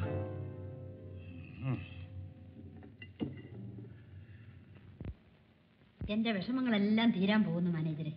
എല്ലാ ഭാരങ്ങളും വേണുവിനെ ഏൽപ്പിച്ചിട്ട് ഞാൻ ഇനി ശിവനെയെന്ന് കഴിയാൻ പോകുകയാണ് ഞാനും അങ്ങനെയാ. വേണുക്കുഞ്ഞിനെ നേരെ ചെയ്യുമെന്ന് കണ്ടേച്ച് ഒരു കാവ് കൊണ്ട് കൊടുത്ത് കാശിക്കൊന്ന് പോണമെന്നാ. അയ്യോ അതെന്തിനാ? എന്റെ കൊച്ചമ്മേ എന്റെ ജാതകം നോക്കുന്നവരെല്ലാം എന്റെ ഭാര്യ മുഖാന്തരം ഞാൻ സന്യസിക്കണമെന്നാ. എന്നാ പിന്നെ അങ്ങനത്തെ ഭാര്യയെ അങ്ങ് ഉപേക്ഷിക്കണം പോയി അത് ഞങ്ങൾ ആലോചിച്ചോളാം. ആലോചിച്ചിട്ട് മതി പെട്ടെന്ന് വരുന്നത്. അമ്മായി വാ മോളെ. ദേ വേണു വരുന്നു കമ്പി വന്നിരിക്കുന്നു. ഇനി വരുന്നില്ലെന്ന് പറഞ്ഞു ഉടനെ തന്നെ വേറെ കമ്പി വരുമോ എന്തോ. അമ്മായി കഴിഞ്ഞ തവണ ഏർപ്പാട് ചെയ്തതിനേക്കാൾ പത്ത് മടങ്ങ് കൂടുതലായിരിക്കും ഈ തവണത്തെ സ്വീകരണം. എനിക്ക് വലിയ ആഗ്രഹമുണ്ട് പക്ഷെ ഒരു വഴിയുമില്ല. ഉം, എന്തുകൊണ്ട് ഒഴിയില്ല ആ കമ്പി വായിച്ചു നോക്കിയാട്ടെ ഉടൻ മനസ്സിലായത്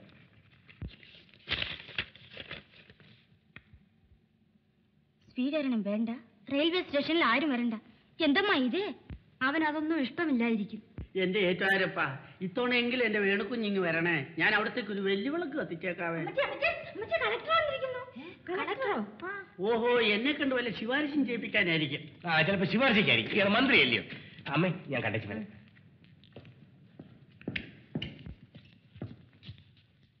കളക്ടർ ഇവിടെ നിങ്ങൾ ആര് മിസ്റ്റർ? ഞാൻ ബിൽ കളക്ടറാണ് ആണ്. ഓഹോ നാളെ ഓഫീസിലോട്ട് വരണം കേട്ടോ.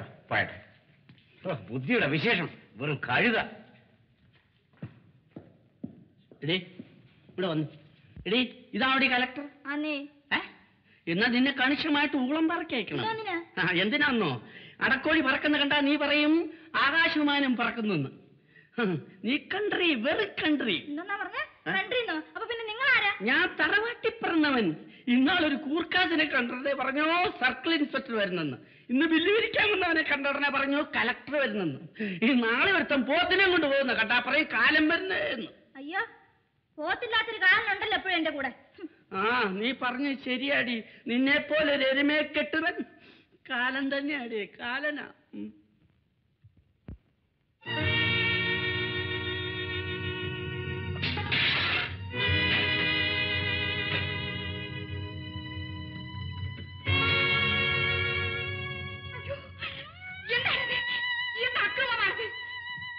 പറഞ്ഞു വീട്ടിനകത്ത് കയറാൻ. നിന്റെ വീട് ഏ? നിന്റെ തന്ത സമ്പാദിച്ചത് എടേ ഇത് ഫാക്ടറി വീടാണ്. അതെ ഫാക്ടറി വീട് തന്നെ.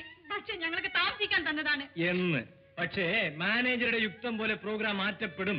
വരീനടാ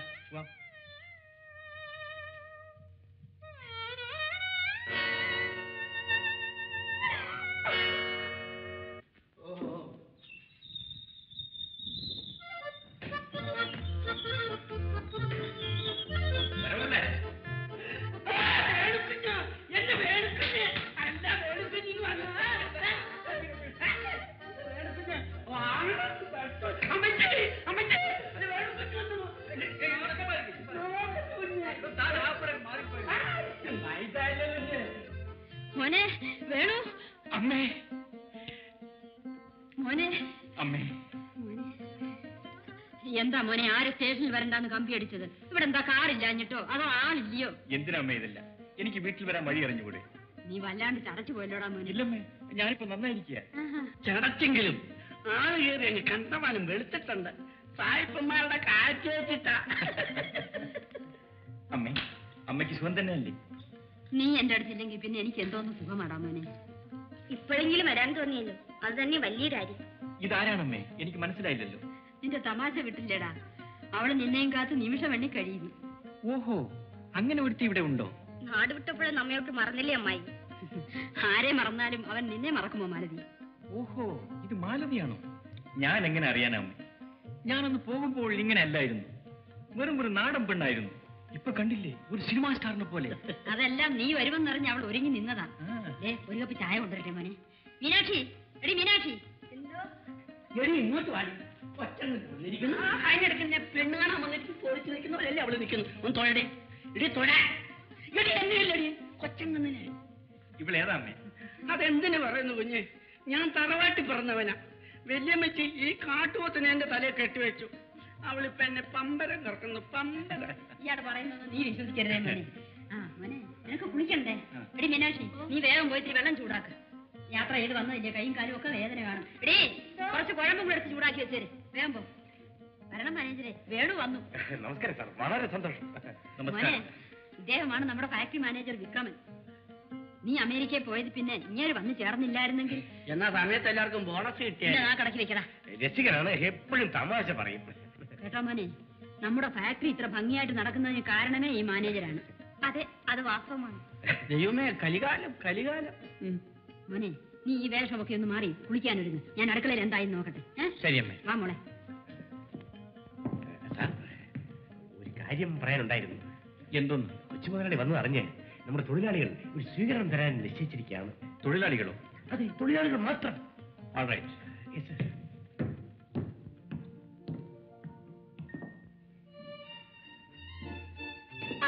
അമേരിക്കയിൽ എനിക്ക് എന്താണ് കൊണ്ടുവന്നത്?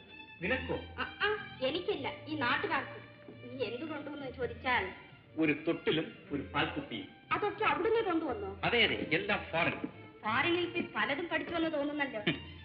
ഫോറിൽ പോയി പഠിച്ചത് വെറും തുച്ഛം. ഇവിടെ വന്നതിന് ശേഷം പഠിച്ചതാണ് ഏറ്റവും മെച്ചം. എത്ര കാലമാ ഞാൻ കാണാൻ കാത്തിരിക്കുകയാണെന്നറിയാമോ? അറിയാമറിയാം നിന്റെ കണ്ണും കവിളും ആ കഥകൾ പറയുന്നു ദിവസവും ഞാൻ സ്വപ്നം കാണും. പക്ഷെ ഞാൻ കണ്ടതൊന്നും സ്വപ്നമല്ല. സത്യം വെറും സത്യം. മരവി. എനിക്ക് അത്യാവശ്യമായി ഒരു സ്നേഹിതനെ കാണേണ്ടതുണ്ട്. ഞാൻ ഇപ്പൊ വന്നേക്കാം. വന്നു കയറി മുമ്പ് ഏത് സ്നേഹിതനെ കാണാൻ പോകും? ഇരിക്കണം. നമുക്ക് അല്പം വർത്തമാനം പറയാം. നിനക്ക് വർത്തമാനം മാത്രം നോക്കിയാൽ മതി. എനിക്കാണെങ്കിൽ ഭാവിയും ഭൂതവും കൂടി നോക്കണം.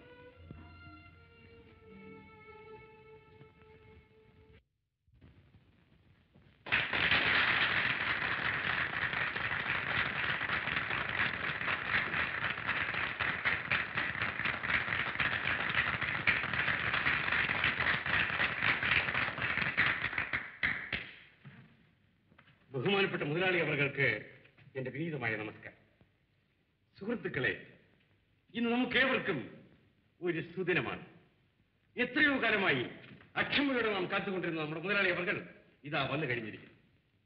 ഈ ഫാക്ടറി അന്തരീക്ഷത്തിൽ ഇന്ന് ആനന്ദവും ഉത്സാഹവും ഓണം തല്ലുകയാണ്. സന്തോഷം കൊണ്ട് മതിമറന്ന് നിൽക്കുന്ന എനിക്ക് മനസ്സിലുള്ളതൊക്കെ പറയുവാൻ വാക്കുകൾ കിട്ടുന്നില്ല. ഇക്കഴിഞ്ഞ മൂന്ന് വർഷക്കാലമായി ഈ ഫാക്ടറി മാനേജർ എന്ന നിലയിൽ നിങ്ങൾക്കെല്ലാവർക്കും പല നന്മകളും ഞാൻ ചെയ്തിട്ടുണ്ട്. അതിനൊക്കെ നിങ്ങൾ വേണ്ടതിലധികം എന്നെ പ്രശംസിച്ചിട്ടുമുണ്ട്. പക്ഷെ അതെല്ലാം നമ്മുടെ മുതലാളി അവർക്ക് ഇതുവരെ അറിയാൻ ഇടയായിട്ടില്ല. ഇനിയും പല കാര്യങ്ങളും നിങ്ങൾക്ക് വേണ്ടി ചെയ്യാൻ ഞാൻ തീർച്ചയാക്കിയിട്ടുണ്ട്. നമ്മുടെ മുതലാളി അവർക്കുള്ള സഹായവും സഹകരണവും കൊണ്ട് എല്ലാം ഭംഗിയായി നടക്കുന്നുള്ളതിന് രണ്ടു പക്ഷമില്ല. നിങ്ങൾക്ക് എല്ലാവർക്കും എന്റെ നമസ്കാരം.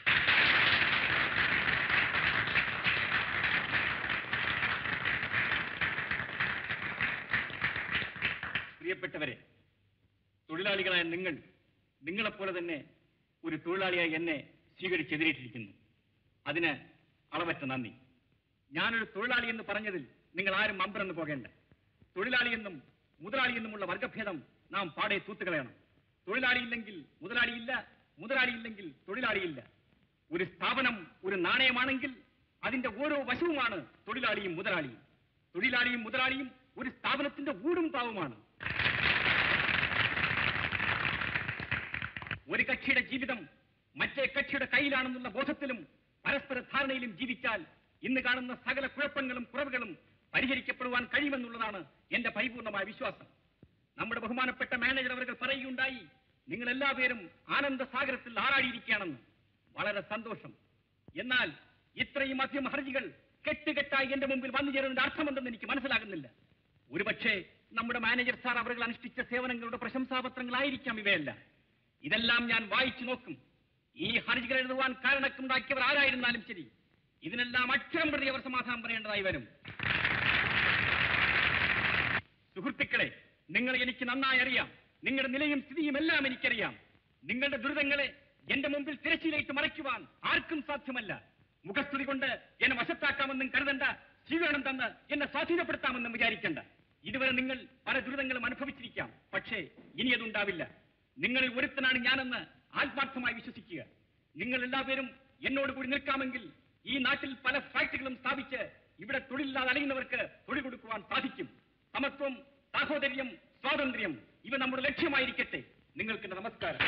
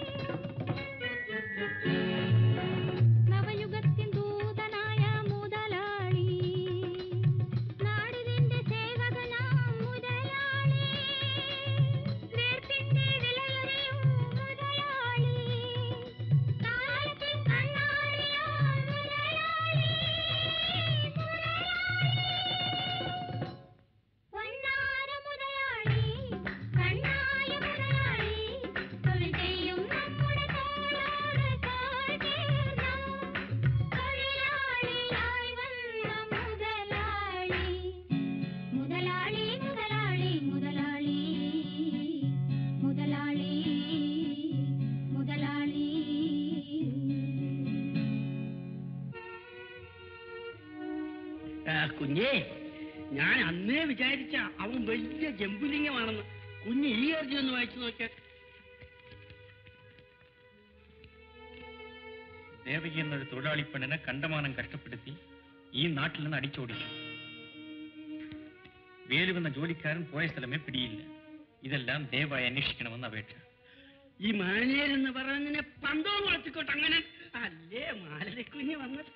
അടാടാ താൻ പണ്ടേ തന്നെ കാമദേവൻ ഈ വേഷം കൂടി ഇട്ടപ്പോ ഒന്നും പറയണ്ട കുഞ്ഞെ ഞാൻ കാമതേനല്ല ഇപ്പൊ.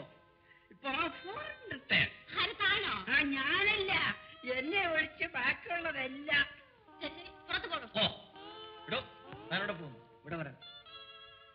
തന്നോട് ഞാനല്ലേ പറഞ്ഞത്? പോകാൻ ഓ ഞാനാണ് പറഞ്ഞത്. ഇവിടെ വരാൻ നിങ്ങൾ തമ്മിൽ വഴക്കുണ്ടാകണ്ട. ഞാനങ്ങ് പോയേക്കാം. പുതുതായിട്ട് കല്യാണം കഴിക്കാൻ പോകുന്നവർക്ക് എന്തെങ്കിലും രഹസ്യം പറയാൻ കാണുമല്ലോ. അതിന്റെ ഇടയ്ക്ക് ഞാൻ ഈ സ്വർഗത്തിലെ കട്ടറും പോലെ എന്തിനാ നിൽക്കുന്നത്? ഞാനങ്ങ് പോയേക്കാം.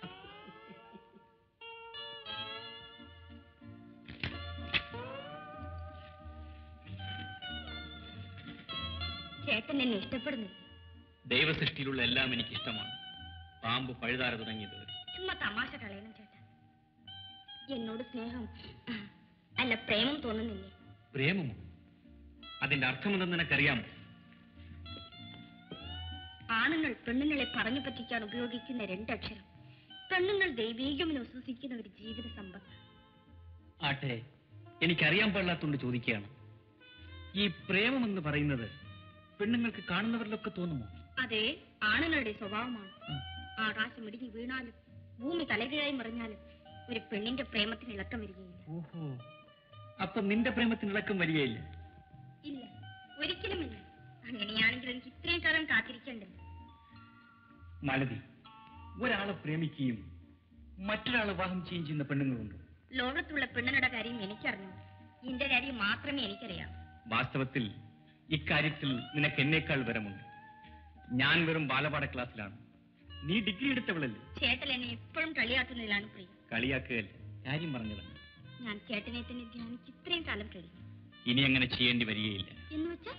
നമ്മൾ രണ്ടുപേരുടെയും വിവാഹങ്ങൾ ഉടനെ നടക്കുമെന്ന്. അല്ലല്ല വിവാഹം വിവാഹം. അഞ്ചു വർഷം അമേരിക്കയിൽ താമസിച്ച ഉടനെ മലയാളത്തിന്റെ പ്രയോഗ രീതികളൊക്കെ ഞാൻ മറന്നുപോയി. മാലതി എനിക്ക് വിവാഹത്തെക്കാൾ മുഖ്യമായ ഒരു സംഗതിയുണ്ട്. ഞാനൊന്ന് ഇറങ്ങിയിട്ട് വന്നേക്കാം.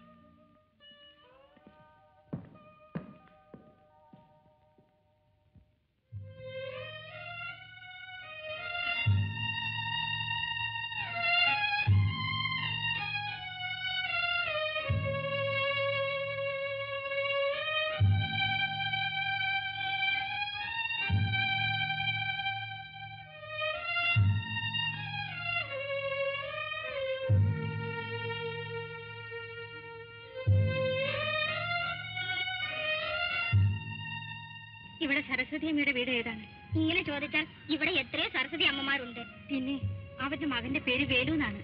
അവർ ഏതെടുത്തുള്ള താമസം? കടപ്പുറത്ത്. സ്ഥലം ഏതാണ്? ശംഖും പകമോ വലിയ തെറിയോ? എവിടെയാണ്? കടപ്പുറത്ത് തന്നെയാണ്.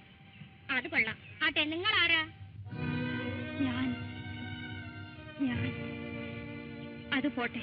നിങ്ങൾക്കറിയാമെങ്കിൽ പറഞ്ഞു തരണം ഞങ്ങൾക്ക് അറിഞ്ഞില്ല കടപ്പുറന്ന് പറഞ്ഞാൽ ഈ കാണുന്നതാണ്. നിങ്ങളെ ആരോ ശരിക്ക് പറ്റിച്ചിട്ടുണ്ട്. മിണ്ടാതെ വീട്ടിൽ ചെന്ന് ചാരണം. വാടി പോകാം.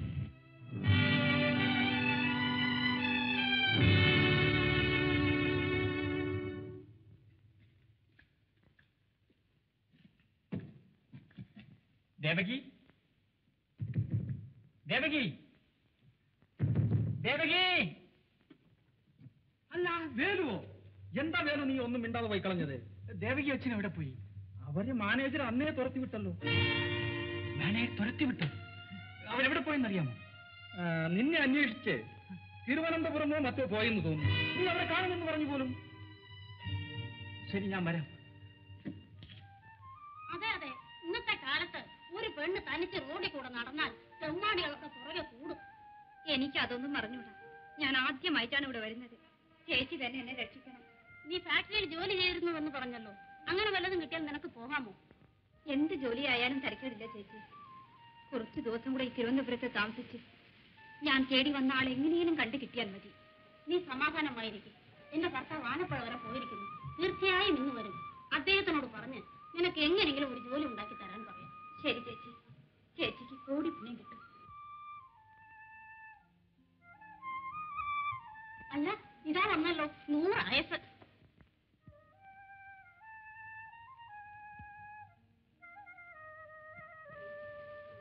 അല്ല ഇതാരെ? അതെല്ലാം പിന്നെ പറയാം. ആ കേട്ടാ ഭവാനി. ഈ റിക്ഷാക്കാരന്റെ ജീവചരിത്രം കേട്ടാൽ ഒരൊന്നാം തരം നോവൽ എഴുതാം. അതുപോലെ തന്നെ ഇതാ ഇവളുടെ കഥ കേട്ടാൽ നീ വളരെ മര്യാദക്കാരനായതുകൊണ്ട് നാലെണ്ണം അധികം. അതെ നീ എന്തിനാണ് മേടിച്ചു നോക്കുന്നത്?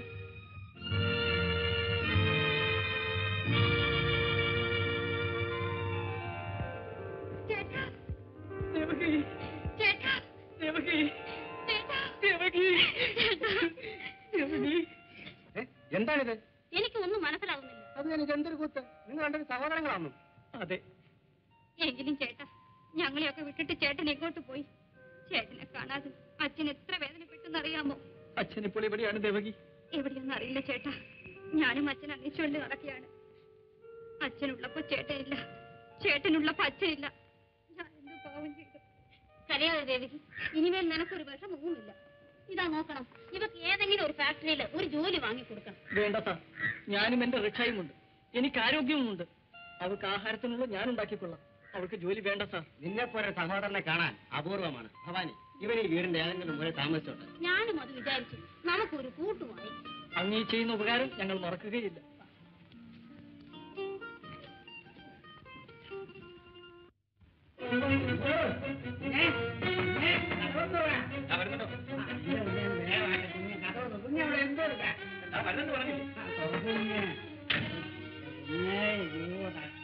ഒന്ന് അടങ്ങി നിൽക്കണം.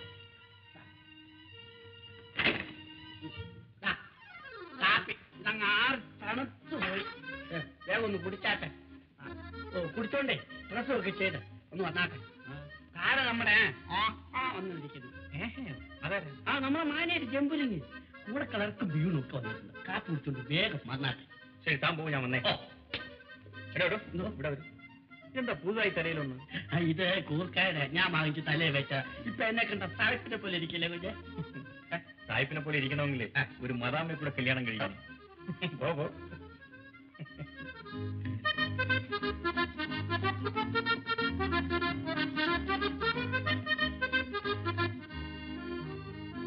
മുതലാളി വരുന്നുണ്ട്. ആരൊക്കെയാ കുഴയാൻ പോകുന്നുള്ളത് കണ്ടറിയണം. താനും ഞാൻ ഈ കിടന്ന് വിഷമിക്കുന്ന എന്തിനാ? കുഴയേണ്ടവർ കുഴഞ്ഞോളും. ഓഹോ.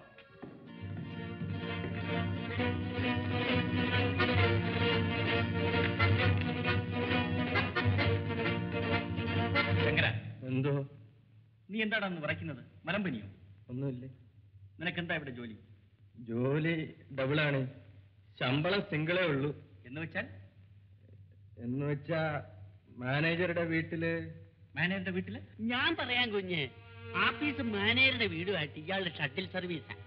പിന്നെ മാനേജറുടെ വിഴുപ്പ് കൊണ്ടല്ല അടിച്ചു നനച്ചു കൊടുക്കണം. അതെ. ചെരുപ്പും ഷൂ അല്ല നല്ലപോലെ പോളിഷ് ചെയ്ത് കൊടുക്കണം. ഉള്ളതാണ്. ആ ശരീരം ആകമാനം പോളിഷ് ചെയ്ത് കൊടുക്കണം വാസ്തവാണ്. കയ്യും കാലം തിരുമ്മി നോട്ടയിട്ട് കൊടുക്കണം അതെ. നാലോ അഞ്ചോ ചവിട്ടും തൊഴിലും കൊടുത്താൽ അതും കൊണ്ടോണം. അതെ അതെ. പരമു എന്തിനാ കള്ളം പറയുന്നത്? നീ ഇതൊക്കെ കണ്ടതുപോലെയാണല്ലോ. മാനേജർ നിങ്ങൾക്ക് സംസാരിക്കാൻ സമയം തരാം.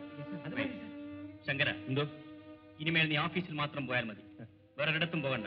ഉത്തരവ് വയ്ക്കുള്ളൂ. എന്നെ രക്ഷപ്പെടുത്തി മുതലാളി മാനേജർ നമ്മുടെ ഫാക്ടറിയിൽ ദേവകി എന്നൊരു പെണ്ണ് ജോലി ചെയ്തിരുന്നു.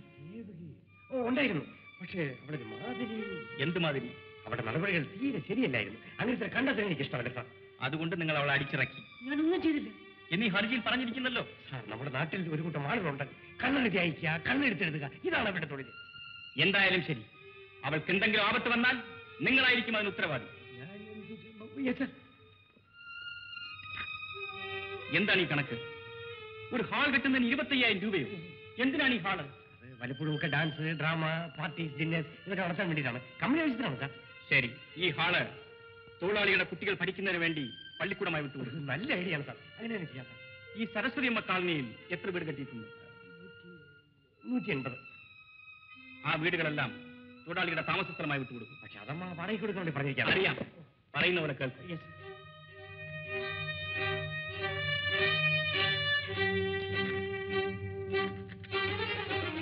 വേലു. അവൻ നമ്മുടെ ജോലിക്കാരുടെ ഇടയിൽ ഒരു റൗഡിയാണ്. അവൻ ആയിരം രൂപ കൊടുത്ത് നമ്മുടെ കയ്യിൽ താക്കിയിട്ടുണ്ട് അതുകൊണ്ട് വലിയ പ്രയോജനമുണ്ട് സാർ. ആയിരം രൂപ കൊടുത്തു? എണ്ണി കൊടുത്തു സാർ. വൗച്ചർ കാണുന്നില്ല ഉണ്ട് ഉണ്ട്. മാനേജർ നിങ്ങൾ ഇങ്ങനെ കള്ള വൗച്ചർ എഴുതി എന്റെ അമ്മയുടെ പക്കൽ നിന്നും അറുപതിനായിരം രൂപ വാങ്ങിയിരിക്കുന്നു. ഇതെല്ലാം ശരിയായി കണക്ക് ബോധ്യപ്പെടുത്തണം. അല്ലെങ്കിൽ കൈക്ക് ഇതുകൊണ്ട് ഉണ്ടെന്ന് പറഞ്ഞു ഞാൻ നിർദോഷിയാണ് സാർ. ഏതായാലും നിങ്ങൾക്ക് ഒരാഴ്ച സമയം തന്നിരിക്കുന്നു. പോകാം. പോകാമെന്ന് പറഞ്ഞില്ലേ? കാഷ്യർ ഈ കണക്ക് ബുക്കുകളുടെ ഓഫീസിലേക്ക് കൊണ്ടുപോകും. ഈ വർഷം ഓണത്തിന് തൊഴിലാളികൾക്ക് മൂന്ന് മാസം ബോണസ് കൊടുത്തേ.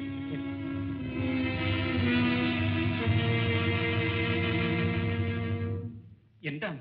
എവിടെ പോയിട്ട് വരുന്നു? വേറെ എവിടെ പോകാനാ മോനെ? നിന്റെ അമ്മാവന്റെ വീട്ടിൽ തന്നെ. അമ്മാവിന്റെ വീട്ടിലോ? എന്താ വിശേഷം? വിശേഷം എന്താ? എത്രയും വേഗം മകളുടെ കല്യാണം നടത്തണമെന്നാ അണ്ണൻ. അതെ അതെ നടത്തേണ്ടത് തന്നെ. എന്ന് പറഞ്ഞാ മതിയോ? നീ ഇതുവരെ അതേപ്പറ്റി ഒന്നും മിണ്ടിയില്ലല്ലോ. ഓഹോ ഞാൻ മിണ്ടാത്തത് കൊണ്ടാണോ കല്യാണം നടക്കാത്തത്? അമ്മേ എനിക്ക് അത്യാവശ്യമായി ട്രിവാൻഡ്രം വരെ ഒന്ന് പോകണം. ചേട്ടന് വീട്ടിലിരിക്കുന്നതേ ഇഷ്ടമില്ല. എപ്പോഴും ചുറ്റിക്കറങ്ങി നടക്കണം. അതെ അതെ. എന്റെ മോനെ നീ തനിച്ച് ഇങ്ങനെ തെങ്കാഴ്ചയിലും തിരുവനന്തപുരത്തും പോകുന്നതിനേക്കാൾ കല്യാണം കഴിച്ച് പോകുന്നിടത്തൊക്കെ ഇവിടെ കൂടെ കൂട്ടിക്കൊണ്ട് പോകും എനിക്കിപ്പോ കല്യാണം വേണ്ടമ്മേ. എന്ന് പറഞ്ഞാൽ ഒക്കുമോ? പിന്നെ എപ്പോ ചെയ്യാനാ കല്യാണം? ശക്തി പൂർത്തി കഴിഞ്ഞിട്ടോ? ആ ശരി. ഞാൻ തിരുവനന്തപുരത്ത് പോയി വന്നിട്ട് തീരുമാനിക്കാം. വരവുള്ളേ? എന്റെ പെട്ടിയും പെറ്റുകൊണ്ട് അടുത്ത് വയ്ക്കും ഓ ധർമ്മ ക്ലാസ് ആണോ ഞാൻ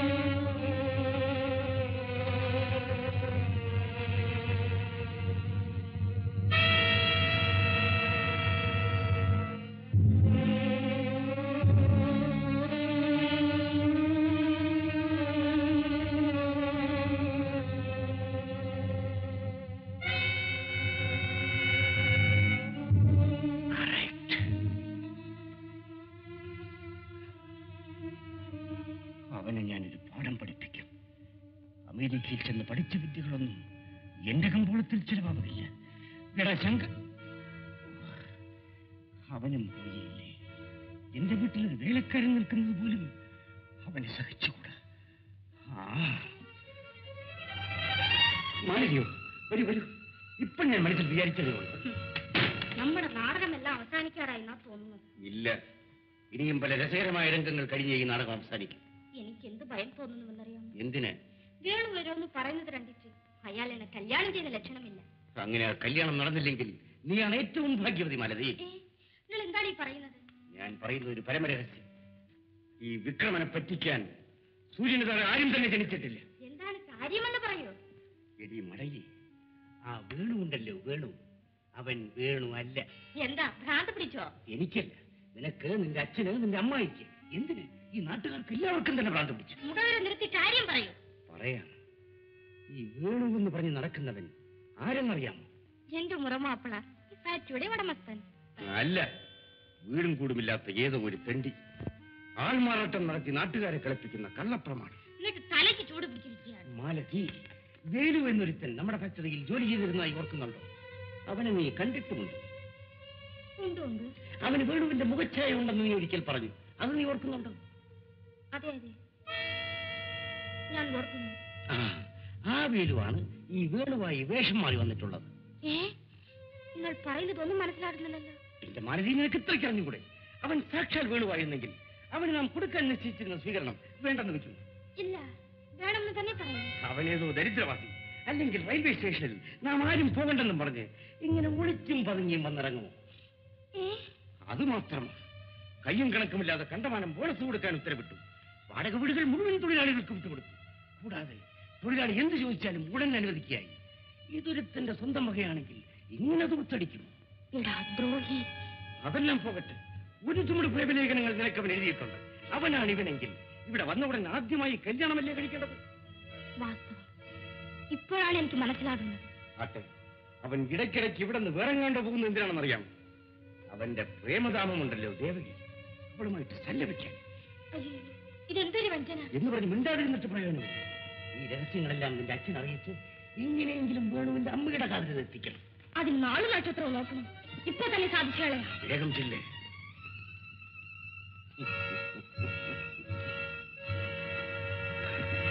അവന്റെ കാര്യം ഒന്നും പറയണ്ടെന്ന് പണക്കാരെ അവനെ കണ്ടേ കൂടാ. ഫാക്ടറിയിലെ ജോലിക്കാരോടെല്ലാം സമസ്നേഹിതന്മാരെ പോലെയാ പെരുമാറ്റം. അവരെന്ത് ചോദിച്ചാലും ഉടനെ കൊടുക്കും. കയ്യിലിരിക്കുന്ന പണം മുഴുവനും എടുത്ത് ഇനിയും വല്ല തൊഴിൽശാലയും തുടങ്ങണമെന്ന് അവന് നിർബന്ധം. പിന്നെ കല്യാണക്കാരിയും വല്ലതും പറഞ്ഞു പോയാൽ അവൻ കേട്ടതായി പോലും ഭാവിക്കില്ല. അവന്റെ പോക്ക് കണ്ടിട്ട് എനിക്ക് ഭയം തോന്നുന്നണ്ണ അമേരിക്കയിൽ നിന്ന് വന്നതിന് ശേഷം അവന്റെ സ്വഭാവം ആകപ്പാടെ അങ്ങ് മാറിപ്പോയി. സ്വഭാവം മാത്രമല്ല മൈ ആളെ മാറിപ്പോയി. അത് തന്നെയാ മോളെ ഞങ്ങൾ പറഞ്ഞുകൊണ്ടിരിക്കുന്നത്. വേണു ആകെ മാറി മാറിപ്പോയി മാറിപ്പോയി നിങ്ങൾ എന്തർത്ഥത്തിലാ പറയുന്നത്? ഇവിടെ വേണു എന്ന് പറഞ്ഞു വന്നവൻ. അമ്മ ഇവിടെ മാനല്ലമ്മായി വേണു എന്റെ മകനല്ലെന്നോ? നീ എന്താണ് പുലമ്പെന്ന് മോളെ? അച്ഛാ ഞാൻ സത്യമാണ് അച്ഛാ പറയുന്നത്. ഇവിടെ വന്നവൻ വേണുവല്ല. നമ്മൾ എല്ലാ പേരും പറ്റിച്ചിരിക്കുക നീ കിറുക്ക് പറയാതെ പെണ്ണെ. എന്റെ മോനെ എനിക്കറിഞ്ഞുകൂടെ? അറിഞ്ഞുകൂടാ. അറിഞ്ഞുകൂടാതായിപ്പോയി നിങ്ങൾക്കൊക്കെ അറിഞ്ഞുകൂടായിരിക്കും. വേണുവിന്റെ രൂപം ശബ്ദം അവന്റെ പ്രകൃതം ഇതൊക്കെ അവന്റെ അമ്മയായി എനിക്കറിഞ്ഞുകൂടെ? ഇവൾ ആരോ പറയുന്നത് കേട്ട് എന്തെല്ലാം ഉളറുകയാണ് ഞാനൊന്നും ഉളർന്നില്ല അമ്മായി നമ്മുടെ ഫാക്ടറിയിൽ കുറച്ച് ദിവസം ജോലി ചെയ്തിരുന്നു. വേണു എന്ന ഒരുത്തനാണ് ഇവിടെ വേണു എന്ന് പറഞ്ഞു വന്നവൻ അവനെ കണ്ടാൽ വേണു ചേട്ടനെ പോലിരിക്കും ഞാൻ പോലും ആദ്യം അവനെ കണ്ടപ്പോൾ സംശയിച്ചു പോയി. അങ്ങനെ ഒരേപോലെ രണ്ടുപേരും ഈ ലോകത്തിലുണ്ടോ മോളെ? എന്തെങ്കിലും ഒരു വ്യത്യാസം കാണുകയില്ലേ? അല്ലെങ്കിൽ ഇരട്ട പെറ്റതായിരിക്കണം. ഈ വ്യത്യാസമുണ്ട്. പക്ഷെ നമ്മളത് ശ്രദ്ധിച്ചില്ലെന്ന് മാത്രം. എനിക്കൊന്നും ശ്രദ്ധിക്കണ്ട. പെറ്റിട്ടത് മുതൽ ഇത്രയും പ്രായം വരെ കണ്ടോണ്ടിരിക്കുന്നവളാ ഞാൻ അങ്ങനെ ഈ കണ്ണു മറച്ച് വിശ്വസിക്കരുതമ്മ അട്ടെ ആട്ടെ വേണിച്ചേട്ടന്റെ തലമുടി ഇങ്ങനെയാണോ? പിന്നെ എങ്ങനെയാ? ഇങ്ങനെ തന്നെയാ. അമ്മായി ഇതിനേക്കാൾ ഞെരുക്കമില്ലേ? നെറ്റിക്ക് ഇതിനേക്കാൾ വിരിയില്ലേ ആ കണ്ണിന് ശകലം കൂടി നീളമില്ലേ? മൂക്ക് കുറച്ചുകൂടി ഉയർന്നതല്ലേ? ആ മൊത്തം കുറച്ചുകൂടി ധനമുള്ളതല്ലേ? ആട്ടെ വേണുചേട്ടൻ ഇങ്ങനെയാണ് നടക്കുന്നത് അമ്മായി ഒന്ന് നല്ലവണ്ണം ആലോചിച്ചു നോക്കണം. മാലതി പറഞ്ഞപ്പോഴാ എനിക്കും തോന്നുന്നത്. ഏതാണ്ടൊക്കെ ചില വ്യത്യാസമുണ്ട്. ഇവൻ എന്റെ മോൻ അല്ലെങ്കിൽ പിന്നെ എന്റെ മോൻ എവിടെ? എന്റെ മോൻ എവിടെ പോയി? അവരെന്തുകൊണ്ട് വന്നില്ല? ഇവൻ എങ്ങനെ എന്റെ മോനെന്ന് പറഞ്ഞ് ഇവിടെ വന്നു? നീ സമാധാനപ്പെടുത്തരുത് നമുക്ക് എല്ലാം ശരിപ്പെടുത്താം. അയ്യോ എന്ത് തല കടത്തുന്നു? എനിക്കൊന്നും അറിഞ്ഞുകൂടാ. അമ്മായി സമാധാനപ്പെടണം. ശരി ബഹളം കിട്ടി. മറ്റുള്ളവരെ അറിയിക്കുന്നു എന്റെ മോനെ വേണു? വേണോ? മോനെ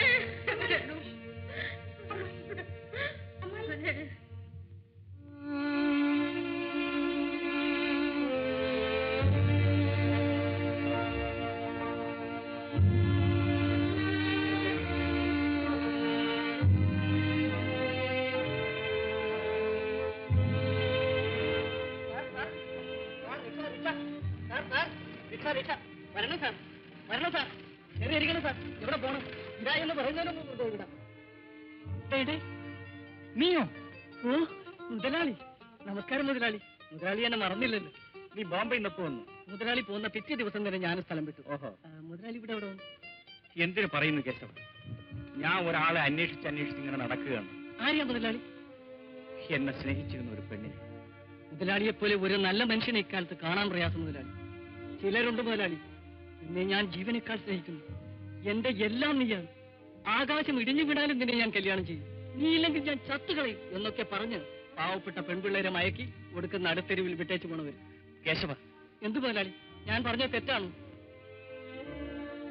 ഇല്ല വാ പോകാം എത്ര ദൂരം പോണം മുതലാളി? അല്ല വീട് വരെ പോയി അരിക്കുള്ള കാശ് കൊടുത്തിട്ട് വന്നാൽ കൊള്ളാമെന്ന്. ഓഹോ. ഇതാ ഇത് വീട്ടിൽ കൊടുത്തിട്ടോ?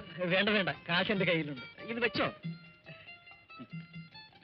മുതലാളി ഇവിടെ തനിയെ നിർത്തിയിട്ട് പോണതും ശരിയല്ല. ഞാൻ കൂടെ വരാം. അയ്യോ മുതലാളി എന്റെ വീട്ടിൽ. അത് സാരമില്ല. വാ പോകാം.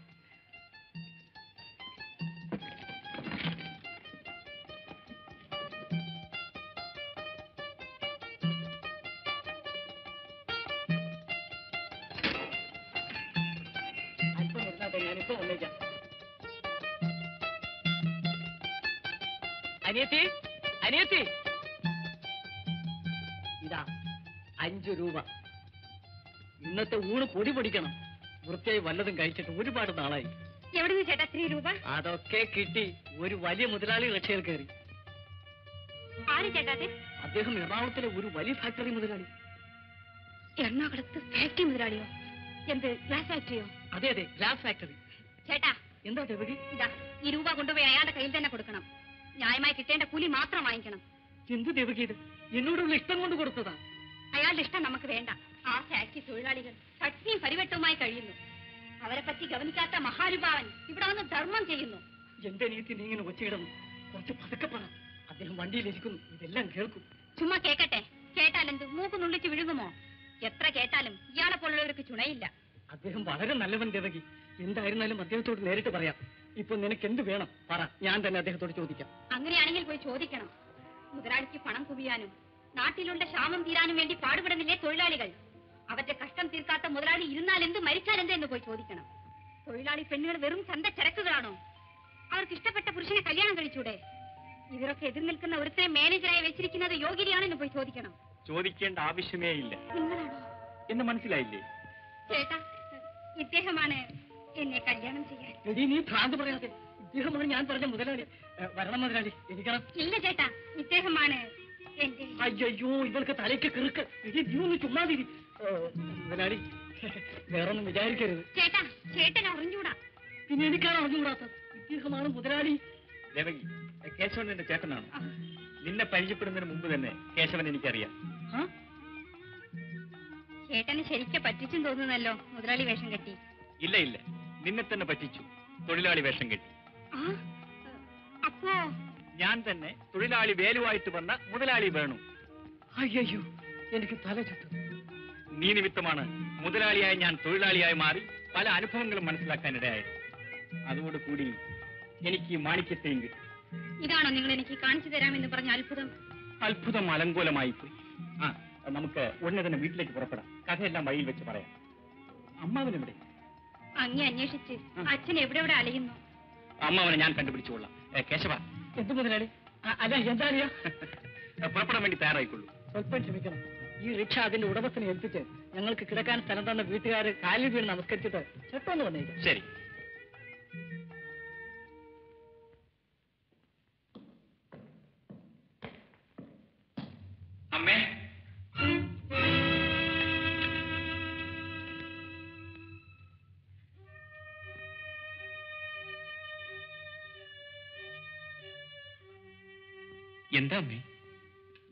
സൂക്ഷിച്ചു നോക്കുന്നത്? എന്തിനാ അമ്മേ കരയുന്നത്? പറയൂ എന്ത് സംഭവിച്ചു? ഒന്നുമില്ല മോനെ. പിന്നെ? അമ്മ ഇങ്ങനെ സങ്കടപ്പെടാൻ എന്തുണ്ടായി? നീ എന്റെ മോനല്ലെന്ന് ഇവിടെ എല്ലാരും പറയുന്നു മോനെ. എന്ത്? ഞാൻ അമ്മയുടെ മകനല്ലെന്ന്. എന്നാര് പറഞ്ഞു? ഏത് ദ്രോഹിയാണ് അമ്മ ഇത് പറഞ്ഞത്? സത്യം പറഞ്ഞു നീ എന്റെ മോൻ തന്നെയോ? എന്റെ വേണു തന്നെയോ? അമ്മേ. വയസ്സായ ഒരു സ്ത്രീയെ ഭ്രാന്തിയാക്കാതെ ഉള്ളത് പറ കുഞ്ഞ്. അമ്മേ എന്നെ ഒരു ഒരമ്മയ്ക്ക് സ്വന്തം മകനെ മനസ്സിലാവില്ലേ? ചേട്ടന് അനിയന് മനസ്സിലായില്ലെന്ന് വരാം. അമ്മാവന് അനന്തരവൻ അറിഞ്ഞുകൂടെന്ന് വരാം. അച്ഛന് സ്വന്തം മകന് മകനാണോ എന്ന് സംശയം വരാം. പക്ഷേ ഒരമ്മ മകനാണോ എന്ന് സംശയിക്കുന്നത് ഇതാദ്യമായിട്ടാണമ്പേ ലോകത്തിൽ ആദ്യത്തെ സംഭവമാണമ്പേ. മക്കളെ കാണുമ്പോൾ മാതാവിന്റെ മാറിൽ പാലു ചുരക്കുമെന്ന് ഞാൻ കേട്ടിട്ടുണ്ട്. അമ്മേ ഈ വയറ്റിലാണമ്മേ ഞാൻ പത്തു മാസം ചുരുണ്ടുകൂടി കിടന്നത്. അവിടുത്തെ മുലപ്പാലാണമ്മേ എന്റെ ശരീരത്തിൽ ഓടുന്നത് അവിടുന്ന് പകർന്നു തന്ന ജീവനാണമ്മേ എന്റേത്. അമ്മയ്ക്ക് മകന് സംശയമോ? പെറ്റമ്മയോട് ഞാനാണമ്മേ അവിടുത്തെ മകൻ. എന്ന് സത്യം ചെയ്തും സാക്ഷി പറഞ്ഞും വിശ്വസിപ്പിക്കേണ്ട ദുർഭാഗ്യം എനിക്കാണമ്മേ ഈ ലോകത്ത് ആദ്യമായി ഉണ്ടായത്. കരയാതെ മോനെ.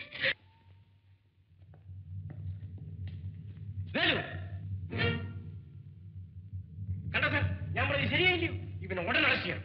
ഇവനെ ഇമ്മീഡിയറ്റ് അറസ്റ്റ് ചെയ്യണം. വേലു നിന്നെ അറസ്റ്റ് ചെയ്തിരിക്കുന്നു. എന്തിന്? എന്താ? എന്നെ അറസ്റ്റ് ചെയ്യാനുണ്ടായ കാരണം? സ്റ്റേഷനിലേക്ക് വരൂ. അവിടെ വെച്ച് പറയാം. ഓ ഇതൊക്കെ നിന്റെ വേലയായിരുന്നു അല്ലേ? എന്റെ അല്ല നിയമത്തിന്റെ വേല. ഇൻസ്പെക്ടർ എന്താണിത്? എന്റെ മോനെ എവിടെ കൊണ്ടുപോകുന്നു? അവൻ എന്ത് തെറ്റ് ചെയ്തു? അമ്മ ഭയപ്പെടേണ്ടമ്മേ. വിനവിതച്ചവൻ വിന കൊയ്യുന്ന കാലം വന്നു. അമ്മ സമാധാനമായിരിക്കുന്നു. ഞാൻ പോയിട്ട് വരാം. എടാ വിക്രമ നിന്റെ പരാക്രമമെല്ലാം തീരാറായി. നിന്റെ കപടനാടവും കള്ളവേഷവും എല്ലാം അവസാനിക്കാറായി നോക്കിക്കൂ. പിന്നെ പ്രസംഗമൊന്നും വേണ്ട. സ്റ്റേഷനിൽ പോ വേണു. മോനെ വേണു. അവൻ കള്ളനാണമ്മേ ഇൻസ്പെക്ടർ അവന്റെ മോനെ അവനെ കൊണ്ടുപോകരുത്. ഇൻസ്പെക്ടർ കൊണ്ടുപോകരുത്. വേണു മോനെ. കൊച്ചമ്മേ, എന്ത് പറ്റി മനസ്സിലെ ഒന്നും പിടിക്കല്ല ഒന്നും പിടിക്കല്ല? ഇത് മയക്കമാണ്. കുറച്ച് വെള്ളം തളിച്ചാൽ മതി. പിന്നെ ഞാൻ ഡോക്ടറെ വിളിച്ചോട്ടെ കൊച്ചമ്മേ നീ പോയി വെള്ളം. അപ്പൊ ദേവകി എവിടെ പോയെന്ന് അറിഞ്ഞേ കൂടാ. അറിഞ്ഞുകൂടാ. ചേട്ടൻ ഇവിടെ നിന്ന് പോയെന്ന് തന്നെ ദേവികയും അടിച്ചു വരയ്ക്കാ ദ്രോഹി മാനേജരെ. ആ മാനേജറെ ഇപ്പൊ എവിടെ കാണും? അയാളെ വീട്ടിൽ കാണാം. ശരി.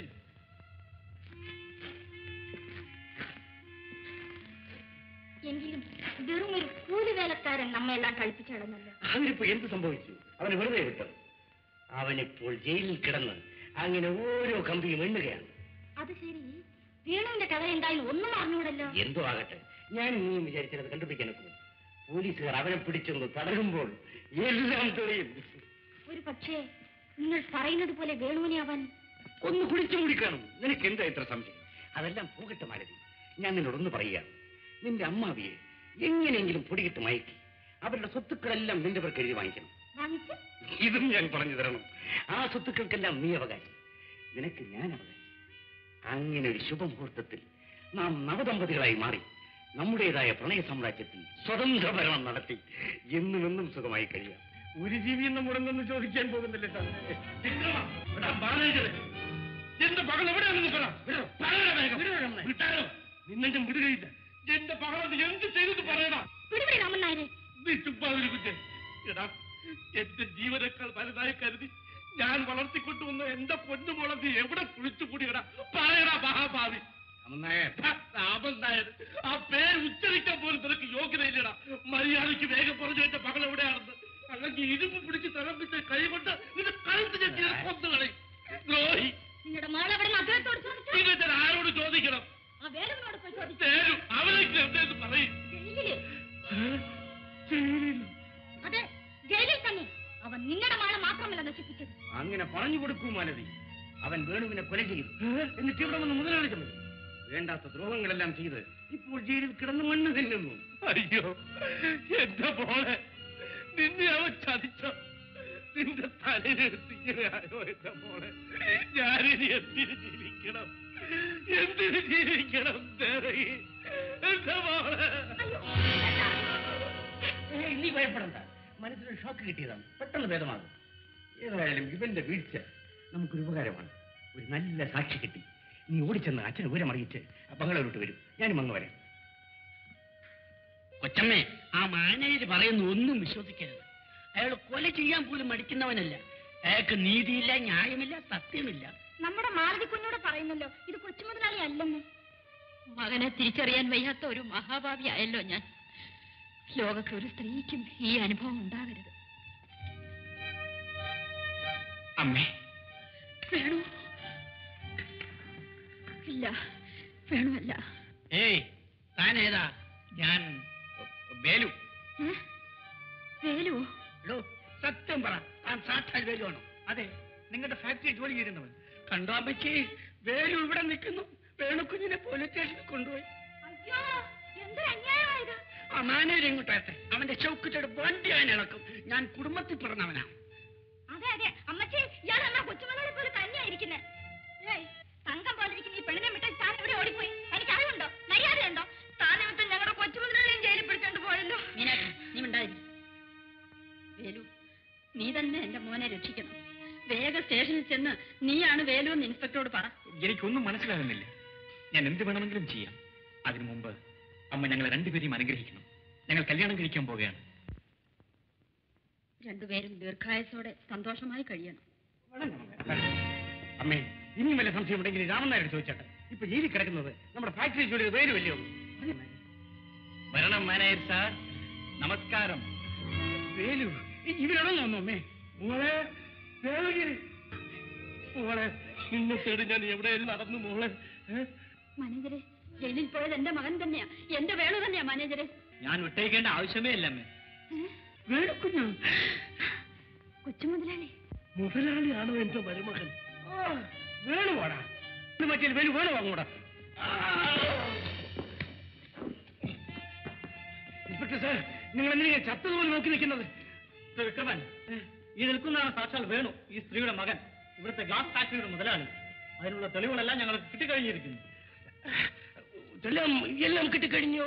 കോൺസ്റ്റബിൾ ഇവനെ വില കേൾക്ക് മോനെ വേണു. അമ്മേ. മോനെ. യജമാനെ എന്നോട് വിഷമം തോന്നരുത്. സമയമായെങ്കിൽ എന്നെ സ്റ്റേഷനിലോട്ട് കൊണ്ടുപോയാട്ടെ. മിസ്റ്റർ വേണം ഞാൻ വരട്ടെ. താങ്ക് യു ഇൻസ്പെക്ടർ നോ മനുഷ്യൻ ഏമാനെ അവന്റെ എല്ലൊന്നും കൊടുത്തേക്കരുത് മോനെ കേശവ നീ സമയത്തിനെത്തിയടാ സമയത്തിനെത്തി. മാലതി നിന്നോട് എനിക്ക് വളരെ സഹതാപമുണ്ട്. ഇനിയെങ്കിലും നല്ല രീതിയിൽ ജീവിച്ച് നമ്മുടെ നാട്ടിലെ പെണ്ണുങ്ങൾക്കൊരു മാതൃക കാണിച്ചു കൊടുക്കും. ഇനിമേൽ ഞാൻ മുതലാളിയല്ല. നമ്മുടെ ഫാക്ടറിയിൽ ജോലി ചെയ്യുന്ന ആയിരം ആയിരം തൊഴിലാളികളിൽ ഞാനും ഒരുത്തൻ.